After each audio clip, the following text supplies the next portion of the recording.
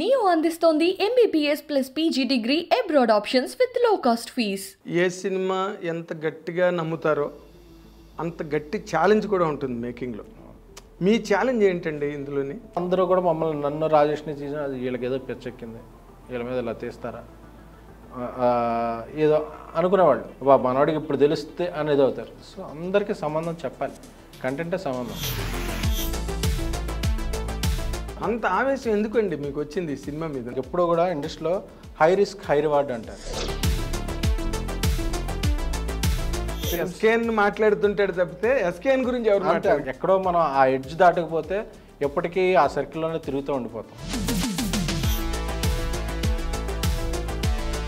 నార్మల్గా ఒక డైరెక్టర్గా సాయి రాజేష్ ఒక కథ రాసుకోవడంలో ఆ కథను మీ అందరికీ చెప్పి కన్విన్స్ చేసుకోవడం ఇవన్నీ అతని వైపు నుంచి అతను పడ్డ స్ట్రగుల్. మీ వైపుగా మీరు చెప్పుకోవాలంటే మీ స్ట్రగుల్ ఏంటి సార్ సినిమాలో? ఒక ఎడిటర్ ఉన్నాడు ఈ సినిమాకి. Seventy percent of the shooting finish. చూసి ఒక రఫ్ కట్ ఆర్డర్ చూసి ఈ సినిమా ఆడదు సార్ ఇది. సినిమా డిజాస్టర్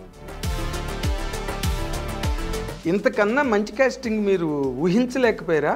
ఊహించినా దొరకలేదా? నమ్మకం ఉండేది. నేను ఫస్ట్ నుంచి ఆనంద్ క్యారెక్టర్ అనుకున్నాను అలాగే ఒక తెలుగు అమ్మాయిలు ఎందుకంటే తెలుగు అమ్మాయిలు ఎవరు ఎక్కువ ఎక్కువ పెట్టరో వాళ్ళే రావట్లేదు కదా. నాకు తర్వాత తెలిసింది తెలుగు అమ్మాయిలతో పెట్టుకుంటే ఏమి ఉంటాయి ఏంటి ఇప్పుడు వైష్ణవ్ని సెలెక్ట్ చేసినప్పుడు ఇది మామూలు జనరల్ రెగ్యులర్ కేటగిరీ సినిమా అయితే కాదు. కమిట్ అయిన బెడ్రూమ్ సీను అవన్నీ కూడా ఇవన్నీ ఎలా ఒప్పించారండి? వాళ్ళ మదర్ వాళ్ళ ఫాదర్ వాళ్ళందరినీ మీరు ఎలాగ యాక్సెప్ట్ చేశారు? ఏ కైండ్ ఆఫ్ జానర్లోకి వెళ్ళాలని మీరు ఆలోచిస్తున్నారు ఇప్పుడు? నా మైండ్లో చిరంజీవి గారి దగ్గరికి వెళ్ళాలనే గుడ్డిగా ఒక బ్లైండ్ స్పాట్ అది తప్ప చిరంజీవి గారితో సినిమా చేసే అవకాశం వస్తుందండి.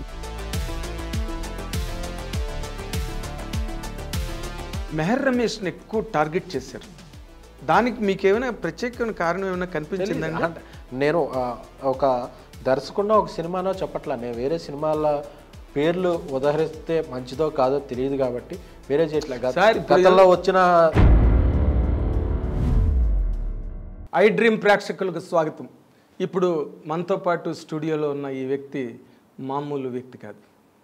జర్నలిస్ట్గా సినిమా రంగంలోకి ప్రవేశించి జర్నలిస్టులకే గర్వకారణంగా ప్రొడక్షన్ లైన్లో ఎదిగి పంచులకి అద్భుతమైన ప్రసిద్ధిని గాంచి ఈ రోజున సినిమా ఇండస్ట్రీయే షేక్ అయి షాక్ అయినంత ఒక పెద్ద హిట్ అది కూడా అంత కొత్త వాళ్ళతో పండి పండని నటులతో అద్భుతమైన పంటను పండించిన ఈ కృషి వలుడు ఎవరో కాదు. ఆయన పేరే ఎస్కేఎన్. ఇప్పుడు ఈరోజు మనతో పాటు బేబీ సినిమా నిర్మాణం తర్వాత ఆయన అనుభవాలు ఆ సినిమా సాధించిన విజయాలు వాటి వెనకాతలున్న ఫలాలు వాటికి సంబంధించి మాట్లాడడానికి ఐ డ్రీమ్ స్టూడియోకి వచ్చినందుకు మీ అందరి తరఫున నేను కూడా ఆయనకి థ్యాంక్స్ చెప్తూ వెల్కమ్ చెప్తున్నా. వెల్కమ్ ఎస్కేఎన్ గారు. వెల్కమ్ చాలా సంతోషం మిమ్మల్ని స్టూడియోలో చూడడం. ఎందుకంటే మొదటి రోజుల్లో చూడడం వేరు. ఎందుకంటే అప్పుడు ఇంకా సినిమా రిలీజు ఆ టెన్షను ఆ హడావుడి. పైగా రిస్క్ మీకు అసలు యాక్చువల్గా ఈ సినిమా మాటల్లో చెప్పాలంటే. రిస్క్ అనిపించలేదా మీకు ఈ సినిమా? రిస్క్ అనిపించలే. కంటెంట్ మీద కంటెంట్ నమ్మకం మీద మొదలయ్యారు. కంటెంట్ ఎంత గొప్పది ఎంత నమ్మకమైంది అయినా దానిలో నటీనట్లు మీరు ఎంపిక చేసుకున్న నటీనట్లు దాని మీద కొంత ఫెయిత్ దాని మీద కొంత కాన్ఫిడెన్స్ జనరేట్ అవుతుంది నార్మల్గా. అంటే అంత పర్ఫెక్ట్ ఎమినెంట్ యాక్టర్స్ చేయాల్సిన సినిమా అది. ఆర్డినరీ యాక్టర్స్ చేసే సినిమా అయితే మాత్రం కాదు. మరి దాన్ని ఎట్లా మీరు అసలు మ్యాచ్ చేసుకోగలిగారు మీ గట్స్ అసలు నాకైతే మాత్రం ఐ వాజ్ సెల్ షాక్డ్ సినిమాలో. ఏంటి ఎస్కేన్ ఏంటి? ఈ ఆర్టిస్టులు ఏంటి అని అనిపించింది నాకు. మీకు అనిపించలేదు అది? నాకు డైరెక్టర్ మీద నమ్మకం. ఓహో ముందు కథ తర్వాత డైరెక్టర్ సాయిరాజ్ డెలివరీ చేస్తాడనే నమ్మకం నాకు. ఎందుకంటే అతనితో ట్రావెల్ ఉంది నాకు. ఒక ట్వంటీ ఇయర్స్ నుంచి he's friend before coming in to films okay so నాకు ఆ ట్రావెల్ మీద అసలు ఎక్కడ రిస్క్ అనిపించలే. సో అంటే సినిమాని తీసిన తర్వాత రిలీజ్ ముందు కూడా మీకు ఏ రకమైన టెన్షన్స్ గట్టి ఏం లేవు? General free delivery film. అంటే ఎవ్రీ సినిమా ఎంత కాన్ఫిడెన్స్ ఉన్న సినిమా అయినా రిలీజ్ అప్పుడు రిలీజ్ టెన్షన్ ఒకటి ఉంటుంది. అంటే మనం నమ్మింది ఎలా రిసీవ్ చేసుకుంటారు మన నమ్మకం ఎంతవరకు సక్సెస్ అవుద్ది అదే ఎంత పెద్ద హిట్ అవుద్ది అంటే ఇది ఎనీ ఒక లెజెండరీ ప్రొడ్యూసర్ లెజెండరీ ఎవరు చేసినా ఉంటుంది. సో ఇంకా తొలినాడులో ఉన్నా కాబట్టి నాకు కొంచెం ఉండ ఉంటుంది కానీ but I'm confident about content so అన్ని టీజర్ లాంచ్ దగ్గర నుంచి ప్రతి ఫంక్షన్లోనూ ప్రతి దాంట్లోనూ కూడా చెప్పాను. అందరికీ చెప్పాను ఇది కల్ట్ సినిమా వద్దని అంటే నాకు తెలుసు ఒకవేళ సినిమా డెలివరీ చేయకపోతే ఆ మాటలే తిరిగి రివర్స్ అవుతుంది రివర్స్ అవుతుంది వీడు తీసిన సినిమాకి వీడు చేసిన ఎక్స్ట్రాలకి ఏమన్నా సంబంధం ఉందని బట్ నా కన్ కంటెంట్ మీద నాకు ఆ కాన్ఫిడెన్స్ ఉంది కాబట్టి నేను ఇది కొడుతున్నాం అని చెప్పి అందరికీ అవును మొదటి నుంచి మీరు అలా మాట్లాడుతుంటే అంటే మీతో మాకు బాగా పరిచయం ఉన్న వ్యక్తులకే అవును. సరే దాని వెనకాతలు ఉన్న కోటరి ఒక అల్లు అరవింద్ గారు ఒక బన్నీవాస్ గారు ఒక మారుతి గారు వీళ్ళందరూ ఉన్నారు వెనకాతల కనిపించడానికి. బట్ మీరు ఇందాక అన్నట్టుగా ఏ సినిమాకైనా ఆ డెలివరీ ప్రాబ్లము తర్వాత డెలివరీ అంటే రిలీజ్కి ప్రాబ్లం కాదు మీకే ఉంది అది వాక్ కేక్ ఓవర్ కానీ. బట్ తర్వాత ఇది సినిమా రిసీవ్ చేసుకుంటారా లేదా ఇలాంటి సినిమా అన్నది అనిపించిందా? అంటే ఇప్పుడు కొన్ని సినిమాలు ఎడ్జ్ మీద జరుగుండే ఒక ఆర్య అప్పుడు వచ్చిన టోటల్ రివర్స్లో ఉంటుంది ఆ సినిమా. అవును. అంటే ఒక ఆల్రెడీ ప్రేమలో పడిన అమ్మాయిని. అది ఒక రిస్కీ పాయింట్ కాకపోతే అది ఎక్కితే చెప్పేదని చెప్తే అది ఎంత ఫినామినల్ హిట్ అయిందో తెలుసు. ఇప్పుడు బేబీ కూడా ఒక రిస్కీ పాయింట్ అంటే ఒక అమ్మాయి ఇద్దరు అబ్బాయిలు ఒక అమ్మాయి ఇప్పటివరకు ఒక హీరో ఇద్దరు హీరోయిన్ లవ్ చేసింది కానీ ఒక హీరోయిన్ ఇద్దరు లవ్ చేయటం అది కూడా జెన్యున్గానే లవ్ చేస్తుంటుంది ఆ అమ్మాయి. ఆ పరిస్థితులు దీన్ని బట్టి ఇలాగ వెళ్తుంటుంది తప్ప ఎక్కడా చీట్ చేసేయాలని అది సిచ్యువేషన్ మీద వెళ్తాను ఆ ఎడ్జ్ మీద నడిచే పాయింట్. సో నేను ఆ పాయింట్ నమ్మా. సో రేపు ఈ రిస్క్ ఎంతవరకు పే ఆఫ్ అవుద్ది నా నమ్మకం నిజం అవుద్దా లేదా అనేది ఒక రిలీజ్ ముందు వారం ఒక టెన్షన్. సో అది ప్రీమియర్స్ దగ్గర నుంచి చాలా గట్టిగా వర్కౌట్ అయింది. అసలు నార్మల్గా అంటే ఓకే డైరెక్టర్ గారు కూడా మా స్టూడియోకి వచ్చి మాట్లాడారు. ఆయన అనుభవాలు చెప్పారు. అయితే ఆ కథ తాలూకా ఎలిమెంటు అన్నదాన్ని ఆయన ఎక్కడో ఏదో ఒక స్టోరీ చదవడం దాని మీద బేస్ అయి చేశారు మీకు ఏవైనా అలాంటి సందర్భాలు మీ జీవితంలో ఎక్కడైనా మీరు చూడగా మీకని కాదు. అలాంటివి ఎక్కడైనా మీకు తారసపడ్డాయి? వింటూ ఉంటాం. ఫ్రెండ్ సర్కిల్లో ఇలా జరుగుతుంటే ఫ్రెండ్ సర్కిల్లో ఫ్రెండ్స్ ఫ్రెండ్స్ ఇలా వింటూ ఉంటాం. రెగ్యులర్గా ప్రతి ఒక్కరికి మీకైనా నాకైనా సొసైటీలో జరిగే ఇ- ఇదే కాబట్టి. అండ్ యంగ్స్టర్స్ నేను ఎప్పుడు కొద్దిగా యంగ్స్టర్స్ అంటే నాకు వాళ్ళకి ఒక ఇప్పుడు నేనేమి కాలేజీలో చదవకపోయినా కాలేజీలో చదివే ఫ్రెండ్స్ వాళ్ళు వాళ్ళ వాళ్ళతో కనెక్టెడ్గా ఉంటాను. సో ఏం జరుగుతుంది ఏంటి అనేది కొద్దిగా అప్డేటెడ్గా ఉంటుండే. సో అదేలేండి మన అందుకే రాజేష్ పాయింట్ చెప్పగానే తను రాజేష్ కూడా అంతే. అందుకే చెప్పగానే నాకు వెంటనే కనెక్ట్ అయింది. ఈ పాయింట్ మనం సినిమా చేస్తున్నాం అది రిస్క్ అయినా పర్లేదు. డిసైడ్ అవుతుంది. అయితే ఇప్పుడు మీరు సినిమా నార్మల్గా ఏ సినిమా ఎంత గట్టిగా నమ్ముతారో అంత గట్టి ఛాలెంజ్ కూడా ఉంటుంది మేకింగ్లో. మీ ఛాలెంజ్ ఏంటండి ఇందులోని? ఈ ఛాలెంజ్ ఏంటంటే నేను ట్యాక్సీ వాళ్ళ తీసి చాలా రోజులు అయింది నేను ప్రామినెంట్గా ఎవ్రీ ఇయర్ సినిమాలు తీసే ప్రొడ్యూసర్ కాదు. రాజేష్ ఈ స్పాన్ సినిమా ఎప్పుడు తీయలేదు. ఆనంద్ అప్కమింగ్ వైష్ణవి అనే అమ్మాయి యూట్యూబ్ ఇన్స్టాగ్రామ్లో అమ్మాయి కొడితే యూట్యూబ్లో గూగుల్ సెర్చ్ కొడితే ఫ్రీగా యాక్ట్ చేసిన షార్ట్ ఫిల్మ్స్ అన్నీ వచ్చేసాయి. సో విరాజ్ కొత్త upcoming music director upcoming so అందరి మీద ఒక బడ్జెట్ ఉంటుంది. తీయాల్సిన సినిమాకి ఒక అంటే ఈరోజు హిట్ అయింది కాబట్టి ఓకే. బట్ ఆ బడ్జెట్లో ఆ పరిధులు దాటేసాం ఇన్ని రోజుల్లో తీయాలని ఉంటుంది సినిమా. మేము తీసాం. దగ్గర దగ్గర వంద రోజులు తీసాం. నైంటీ ప్లస్ డేస్ తీసాం. ఇవన్నీ దాటేసాం దాటేసినప్పుడు అందరూ కూడా మమ్మల్ని నన్ను రాజేష్ని తీసిన అది వీళ్ళకి ఏదో పిచ్చెక్కింది. వీళ్ళ మీద ఇలా తీస్తారా? ఏదో అనుకునేవాళ్ళు. అంటే అందులో శ్రేయభిలాష్లో ఉన్నారు యాక్టర్స్ ఉంటారు అందరూ ఉంటారు. శ్రేయభిలాష్లో అరే మనవాడికి ఏమవుద్దా అని చెప్పి బాధపడతారు. అదే ఏడ్చేవాళ్ళు బా మనవాడికి ఇప్పుడు తెలిస్తే అనేది అవుతారు. సో అందరికీ సంబంధం చెప్పాలి. కంటెంటే సంబంధం. సో అందుకని నేను- రాజేష్ కూడా బడ్జెట్ ఎక్కువ అవుతుంది డేస్ ఎక్కువ ఏం చేద్దాం? ముందుకెళ్దాం. అంటే నిండా మునిగాడు చెల్లించాలి. సగం మునిగాక ఆలోచించాలి. కానీ సో నిండా మునిగాడన్నా మునిగాక మళ్ళీ తేల్తాం. అని చెప్పి కింద ఏదో నిధి ఉంది దాన్ని తీసుకొస్తాం. ఒడ్డుకు అనే ఇది ఆ కాన్ఫిడెన్స్ ఉంది ఇద్దరికి. సో నాకు భయం వేసినప్పుడు రాజేష్ రాజేష్ భయం వేసినప్పుడు నేను ఇద్దరం మీ ఇద్దరికి భయం వేసినప్పుడు? మా ఇద్దరికి ఎప్పుడు భయం వేసేది కాదు. అంతేనా? అంటే ఎవరో ఒకళ్ళు ఒకళ్ళ లోలో ఉన్నప్పుడు ఒకళ్ళు హైలో ఉండేవాళ్ళు ఒకళ్ళు హైలో ఉన్నప్పుడు అదే ఫ్రెండ్షిప్ అదే కోర్స్ సో అందుకని చెప్పి మీ ఇద్దరం మధ్యలో మారుతికి కొన్నిసార్లు చెప్పాము మారుతి కూడా లేదులే వరి బట్ అరవింద్ గారు కనుక మనం ఆలోచిస్తే మీ వెనకదలు గైడింగ్ ఫోర్స్ అరవింద్ గారే కదా. కదా అంటే కొంతవరకు ఆయన బట్ ఆయన కథ ఏమి ఫస్ట్ టైం లేదు. నా కాన్ఫిడెన్స్ బట్టి వెళ్ళిపోమని చెప్పారు. సో బన్నివాస్ కాదన్నాడు మారుతి కాదన్నాడు అరవింద్ గారు నన్ను నమ్మారు కథ కన్నవాడు నేను నమ్ముతున్నాను కథ అని చెప్పి. సో అలా. పైగా అరవింద్ గారు కూడా కొంతవరకు ఒక బడ్జెట్లో తీస్తానని చెప్పాను. ఆ బడ్జెట్ దాటేశాను. ఆ పాయింట్ నేను అడుగుతున్నా. ఆ బడ్జెట్ దాటేసాక నేనే పెట్టుకోవాల్సి వచ్చింది. ఎందుకంటే అడిగితే ఇస్తారో లేదో తెలియదు అడగడానికి మొహమాటం.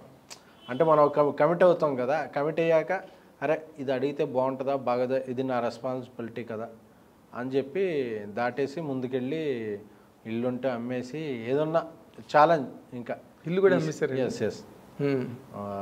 ఇక్కడ కొగడపల్లిలో ప్రజలో ఫ్లాట్ ఉండేది అది అమ్మేసి ఇంక లేదు మనం ముందుకు వెళ్ళాలి హ్మ్.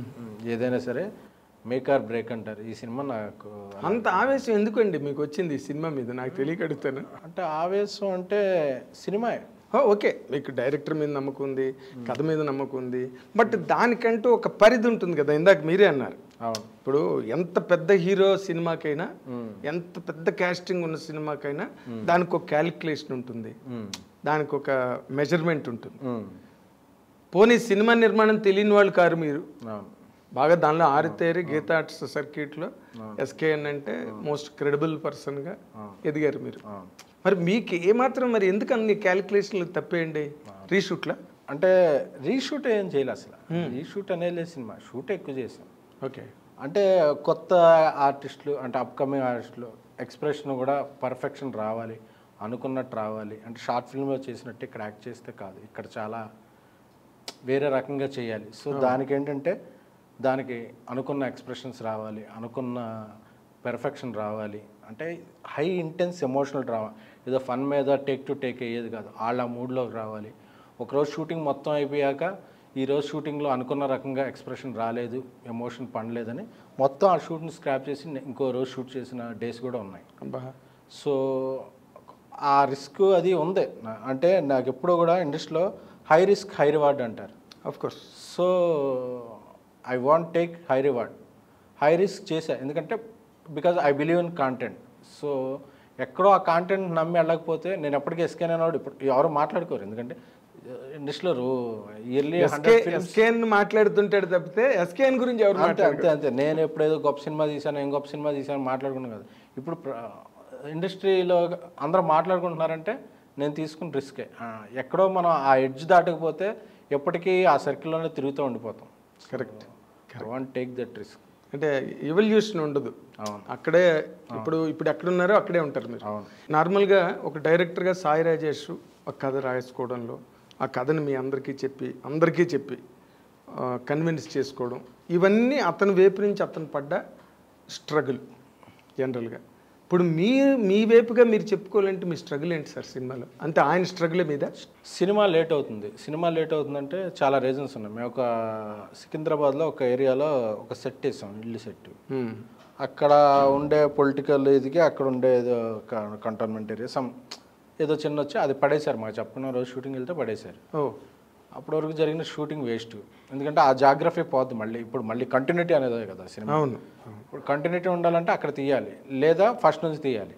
ఒక ఐదారు రోజులు షూటింగ్ అంతా అక్కడ చాలా సెర్చ్ చేసి అంటే ప్రాపర్ బస్తీలో ఉండాలని ఆ ప్లేస్ సో మళ్ళీ సెర్చ్ స్టార్ట్ అలాగే సెకండ్ వేవ్ థర్డ్ వేవ్ ఒకటి వచ్చింది. అప్పుడు కొన్నాళ్ళు ఆపేసాం అలాగే అలా రకరకాల కారణాల వల్ల లేట్ అవుతుంది. హీరో ఆనంద్ నమ్మాడు. అతనికి సినిమా లేట్ అయిపోతుందని నమ్మి ఉన్నాడు. సో డెలివరీ చేయాలి. ఇది ఒక ఇంటెన్స్ డ్రామా. అంటే సీన్లు కూడా ఏ రోజుకి ఆ రోజు వాళ్ళ పెర్ఫార్మెన్స్ ఎలా ఉందో బట్టి దాన్ని బట్టి మిగతా సీన్లు కూడా ఆల్టర్ చేసుకుని అంటే మార్చుకుని దానికి తగ్గట్టు ప్లేస్ చేసుకుని అలా వెళ్ళాలి డైరెక్టర్ కూడా. ఎందుకంటే ఇందులో ఎవరన్నా ఒకళ్ళు తప్పు అనేస్తే వే వేరే సినిమాలు ఉన్నాయి. కొంతమంది వచ్చిన పేర్లు ఎందుకని అమ్మాయి తప్పు అని క్లియర్గా కనబడింది. లేకపోతే ఇంకొక అబ్బాయి తప్పు అని క్లియర్ ఇందులో సినిమాలో చూస్తే ఎవరిదే తప్పు ఉండదు ఎవరిదే రైట్ ఉండదు. అందరూ ఫ్లాడ్ క్యారెక్టర్స్. సో డైరెక్టర్ అనేవాడు అందరు మనసులోకి వెళ్ళి ఆ- క్యారెక్టర్లా బిహేవ్ చేస్తూ స్క్రిప్ట్ రాయాలి.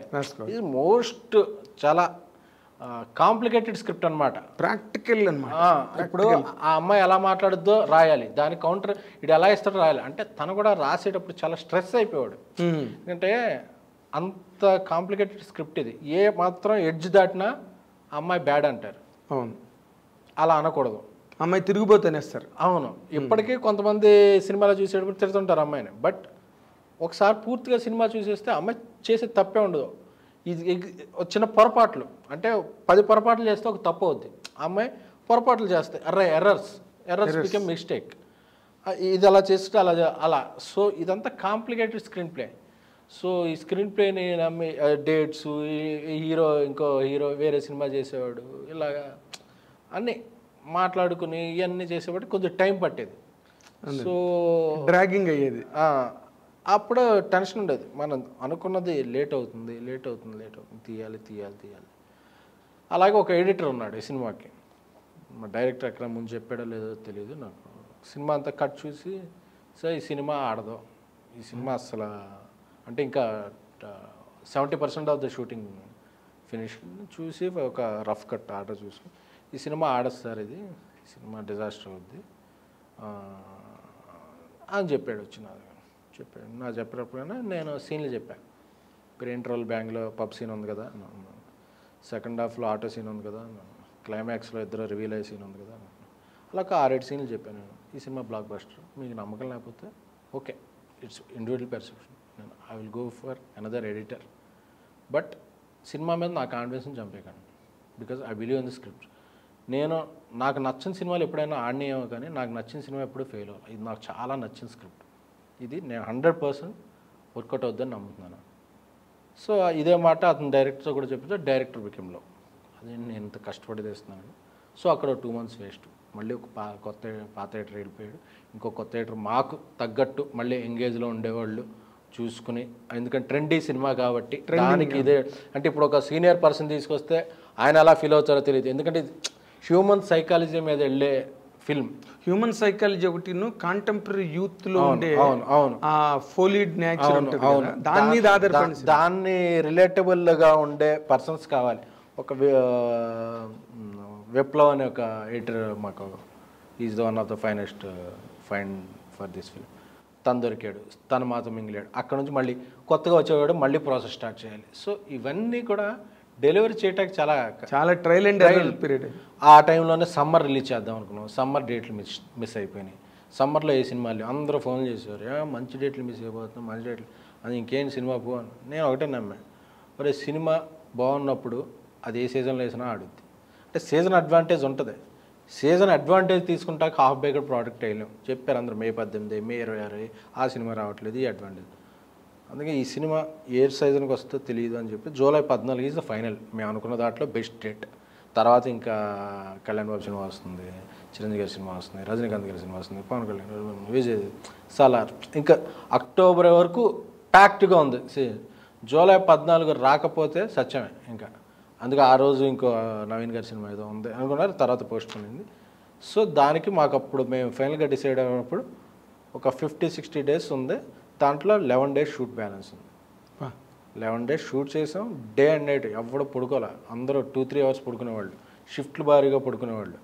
అంటే మాకు రవి అని ఒక రైటర్ మా Namburi Ravi he helped very hard. ఎందుకంటే ప్రోడక్ట్ రావడానికి అలాగే సీనియర్ కో డైరెక్టర్ ఒక అటాచ్ చేశాను. పాత co director he's unable to handle these so కొత్త కో డైరెక్టర్ ఒక ఆయన పాత సార్ కానీ ఇండస్ట్రీలో ముప్పై ఏళ్ళ నుంచి ఉన్నారు. ఆయన తీసుకుని వాళ్ళందరూ కూడా రాజేష్కి రైట్ హ్యాండ్స్లో వచ్చి అంటే ఒకళ్ళు చేసే పని తనకు పని ఈజీ చేశారు. అంటే జూలై పద్నాలుగు చేయటానికి ఒకళ్ళు పరిగెత్తే దీని నలుగురం పరిగెత్తాం. సో ఆ డేట్ మా అచీవ్మెంట్ అంటే జూలై పద్నాలుగు రావడం అనేది చాలా పెద్ద అచీవ్మెంట్ అన్ని ఎడిటింగ్లు పోస్ట్ ప్రొడక్షన్లో పోయి ఇది చూసి అప్పటికీ యూఎస్లో ఒక కాపీ వెళ్ళింది. నాన్ యూఎస్ ఒక కాపీ వెళ్ళింది. ఇండియా ఒక కాపీ వచ్చింది. సో అది త్రీ వెర్షన్స్ వెళ్ళినాయి. సో ఏ వెర్షన్ వెళ్ళినా ప్రతి వెర్షన్ హిట్ అయింది. సో అది we believe in the content that is greatness of సారా తర్వాత ఇంకో మాట ఇప్పుడు మీకు ఇంత పలుకుబడి ఉన్న సర్క్యూట్ మీద గీతాట్స్ ఎస్కేఎన్ అంటే మీరు చాలా మంచి గొప్ప కాంటాక్ట్స్ కాంటాక్ట్స్ ఉన్న పర్సన్ మీరు. మిమ్మల్ని నమ్ముతారు ప్రతి చోట. ఇంతకన్నా మంచి కాస్టింగ్ మీరు ఊహించలేకపోయారా? ఊహించిన దొరకలేదా? అంటే ఓకే సినిమా రిలీజ్ అయిన తర్వాత వాళ్ళు అద్భుతంగా చేశారు. నేనే నా ఇంటర్వ్యూలో చాలా చోట్ల చెప్పాను. బయట చెప్పాను. బట్ యాజ్ ఏ క్రిటికల్గా ఒకసారి ఆలోచిస్తే మీరు ఇంతకన్నా మంచి కాస్టింగ్ మీరు ఊహించలేకపోయారండి? అంటే మంచి కాస్టింగ్ అన్నది ఎప్పుడు అవుతారంటే వాళ్ళు మంచి నటులు అయితే అది మంచి కాస్టింగ్ అని నమ్ముతారు. అంతేగాని వాళ్ళకి మంచి రీచ్ ఉంటేనో లేకపోతే వాళ్ళు ఇంకా ఇంతకుముందు హిట్ సినిమా చేసి ఉంటేనో అది మంచి కాస్టింగ్ అని పైగా ఈ సినిమా నేను ఫస్ట్ టైం గీతాట్స్ బ్యానర్ కూడా వేయలా టైటిల్స్లో మాసు మేకర్స్ని నేను మారుతి బ్యానర్ పెట్టాం తీసాం. అంతా ఒక ఫ్రెష్గా వెళ్దాం. అంటే నా అరవింద్ గారు చెప్పారు నాకు ఛాన్స్ ఇవ్వండి. నేను ఇండివిజువల్గా ఒకటి చేసి నిరూపించుకుని వస్తాను. ఎందుకంటే ఎప్పుడు చేసినా మీ షాడోలోనే ఉండటం అయిపోతుంది. మీరు అలా ఉండాలి నేను ఇలా ఇదవ్వాలి. బట్ నేను ఒకసారి నాకంతా చేతికి ఇస్తే నేను ఎంతవరకు ఫుల్ఫిల్ చేయగలను అనేది ఒకసారి నేను ఛాన్స్ తీసుకుంటాను. He agreed accepted and he funded Sampath so అన్ని రకాలుగా ఉన్నారు. బట్ చేయటం అంతా నేను చేసే. చేయటంలో నేను రాజేష్ అనుకుందే కొత్త వాళ్ళకి వెళ్దాం. అంటే ఇప్పుడు ఏ బ్యాగేజ్ ఉండకూడదు వాళ్ళ మీద. వేరే ఉన్నాయి. అనే ఆనంద్ నాకు ఫస్ట్ నుంచి తెలుసు తను ఎందుకంటే గ్రేట్ యాక్టర్ తను అంటే నెక్స్ట్ డోర్లో ఉంటుంది తన ఆనంద్లో ఒక ఇన్నోసెన్స్ ఉన్న ఒక అమాయకత్వం ఒక అతను మోసపోయాడు మోసం జరిగింది. ఇదంటే ఆడియన్స్ కనెక్ట్ అవుతారని నేను నమ్మాను ఆనంద్. ఆనంద్ ట్యాక్సీ వాళ్ళ సెట్స్కి వచ్చినప్పటి నుంచి తనకు మంచి హీరో అవుతాడు మంచి నట్టు అవుతాడని నాకు నమ్మకం ఉండేది. నేను ఫస్ట్ నుంచి ఆనంద్ ఆ క్యారెక్టర్ అనుకున్నాను అలాగే ఒక తెలుగు అమ్మాయిలు ఎందుకంటే తెలుగు అమ్మాయిలు ఎవరు ఎక్కువ ఎక్కువ పెట్టరో పెట్ట అంటే వాళ్ళే రావట్లేదు కదా. తెలుగు అమ్మాయిలు దొరకట్లేదు నా తర్వాత తెలిసింది తెలుగు అమ్మాయిలతో పెట్టుకుంటే ఏమి ఉంటాయి ఏంటి ఆ, ఇబ్బందులు ఏమి ఉంటాయి అసలు ఏంటండి ఏమి ఇబ్బందులు? ఆ, అంటే ఈ ఒక ఒక ఆరేడుగురు తెలుగు అమ్మాయిలతో పనిచేశాను ఈ రోజుల నుంచి.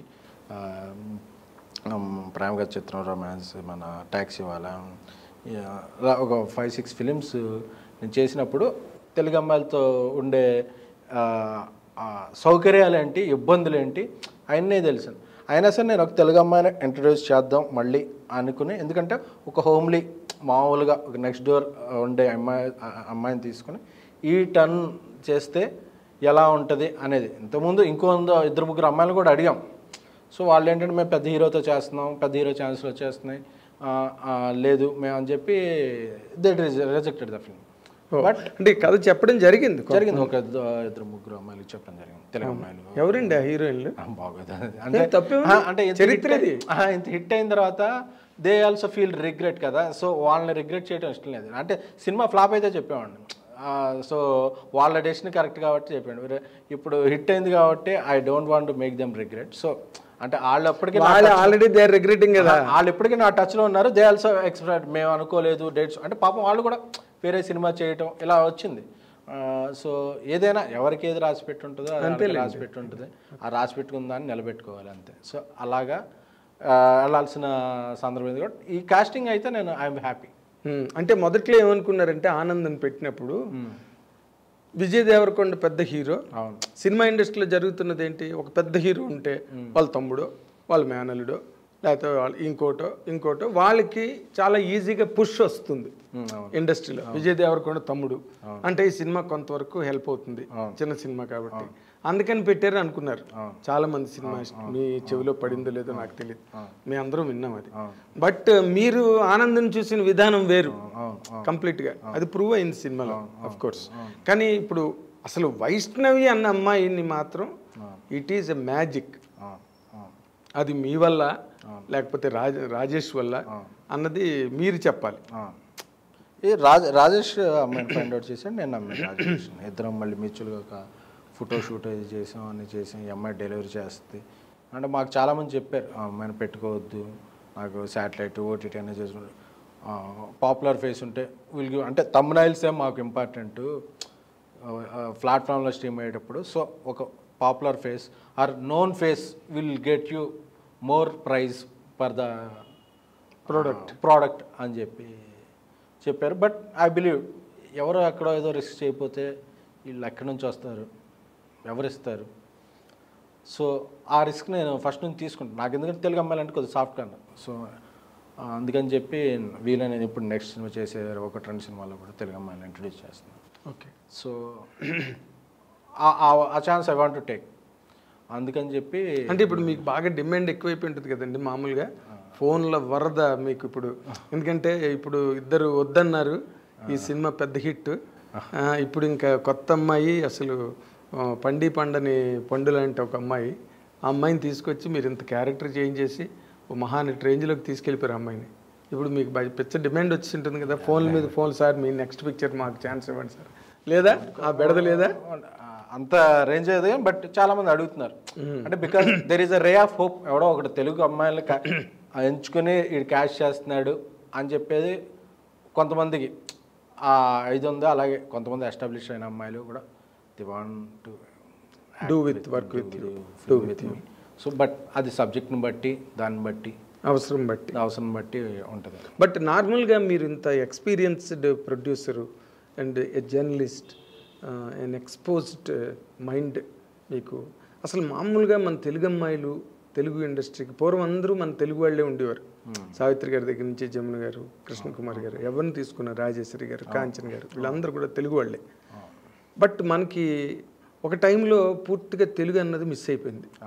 తర్వాత బాంబే వచ్చి ఇక్కడ చతికిలు పడింది. సీన్ ఎందుకండి కారణం? మన తెలుగు అమ్మాయిలు హీరోయిన్లు ఇండస్ట్రీకి అంత విరివిగా రాకపోవడానికి మీదైన ఎనాలిసిస్ ఏంటి సార్? అంటే ఇది నేను ప్రొడ్యూసర్గాను ఇన్నాళ్ళు చూసిన నాకు ఉన్న జర్నలిజం బ్యాక్గ్రౌండ్లోను కంబైన్డ్గా ఏ ఏ ఒపీనియన్ తెలియదు కానీ నా వీటన్నిటిని Observation. అబ్జర్వేషన్ ఏంటంటే తెలుగు అమ్మాయిలకి గ్రూమింగ్ కొంచెం తక్కువ ఉంటుంది. స్టైలింగ్ అయితే ఏంటి గ్రూమింగ్ కొంచెం తక్కువ ఉంటుంది. యాక్టింగ్ పెర్ఫార్మెన్స్ బాగుంటుంది. సో నార్త్ అమ్మాయిలు ఏంటంటే వాళ్ళు రెడీమేడ్ ఇన్స్టెంట్ దీంట్లో వస్తారు అంటే వాళ్ళు ఒక యాక్టింగ్లో కోచింగ్ ఒక డ్యాన్స్ కోచింగ్ ప్రొఫెషనల్గా వస్తారు. మనకేంటంటే వచ్చాక నేర్చుకుంటుంటారు సో అలాగే దానివల్ల కొంత గ్యాప్ వచ్చింది. ఎందుకంటే తెలుగులో కూడా కల్చర్లో హీరోయిన్ అవుతా అంటే చాలామంది పేరెంట్స్ ఇప్పుడిప్పుడు ప్రోగ్రెస్ వస్తున్నారు కానీ I'm saying that one two tickets gap ఏం వచ్చిందంటే అందులో చాలామంది పేరెంట్స్ ఎంకరేజ్ చేయాల. వాట్ ఎవర్ రీజన్స్ వల్ల అయితే కానీ ఎంకరేజ్ చేయాల? అలాగే ఎక్కువ మంది ముందుకు రాల.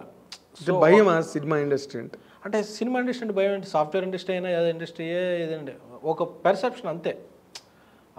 అది ఎలా క్రియేట్ అయిందో ఏంటో తెలియదు బట్ ఇదే ఇంకా చాలా ప్రోగ్రెస్గా ఉండే. ఎందుకంటే వంద మంది మధ్య షూట్ చేస్తుంటాం. పొద్దున స్టార్ట్ అయితే సాయంత్రం ఇంటికి ఎస్ ఇదేదో గదిలో చీకటి గదిలో గదిలో పని చేసేది కాదు. మనం ఏదైనా పని చేస్తుంటే వంద మంది చుట్టుపక్కల సో ఇదంతా జస్ట్ ఒపీనియన్లో ఉంటుంది మైండ్ సెట్లో సో అలాగే తెలుగు అమ్మాయిలు ఏంటంటే రాగానే వచ్చిన అమ్మాయిలు వచ్చినట్టు కొన్ని స్క్రిప్ట్ ఉంటాయి. వాళ్ళు చూజ్ చేసుకోవటం అదే ఉండదు. చాలాసార్లు రైట్ డేషన్ ఉండదు. వచ్చిన సినిమా వచ్చినట్టు చేసుకుంటూ వెళ్తారు. అంటే నేను ఈ సినిమా గురించి వెయిట్ చేయాలి అంటే తెలుగు అమ్మాయిలే కాదు ఏ హీరోయిన్కైనా ఎక్కడ ఫెయిల్ అవుతారంటే నేను ఏ ఈ సినిమా వల్ల దేనికి నాకు ఈ సక్సెస్ మైలేజ్ ఏమొస్తుంది? వచ్చింది.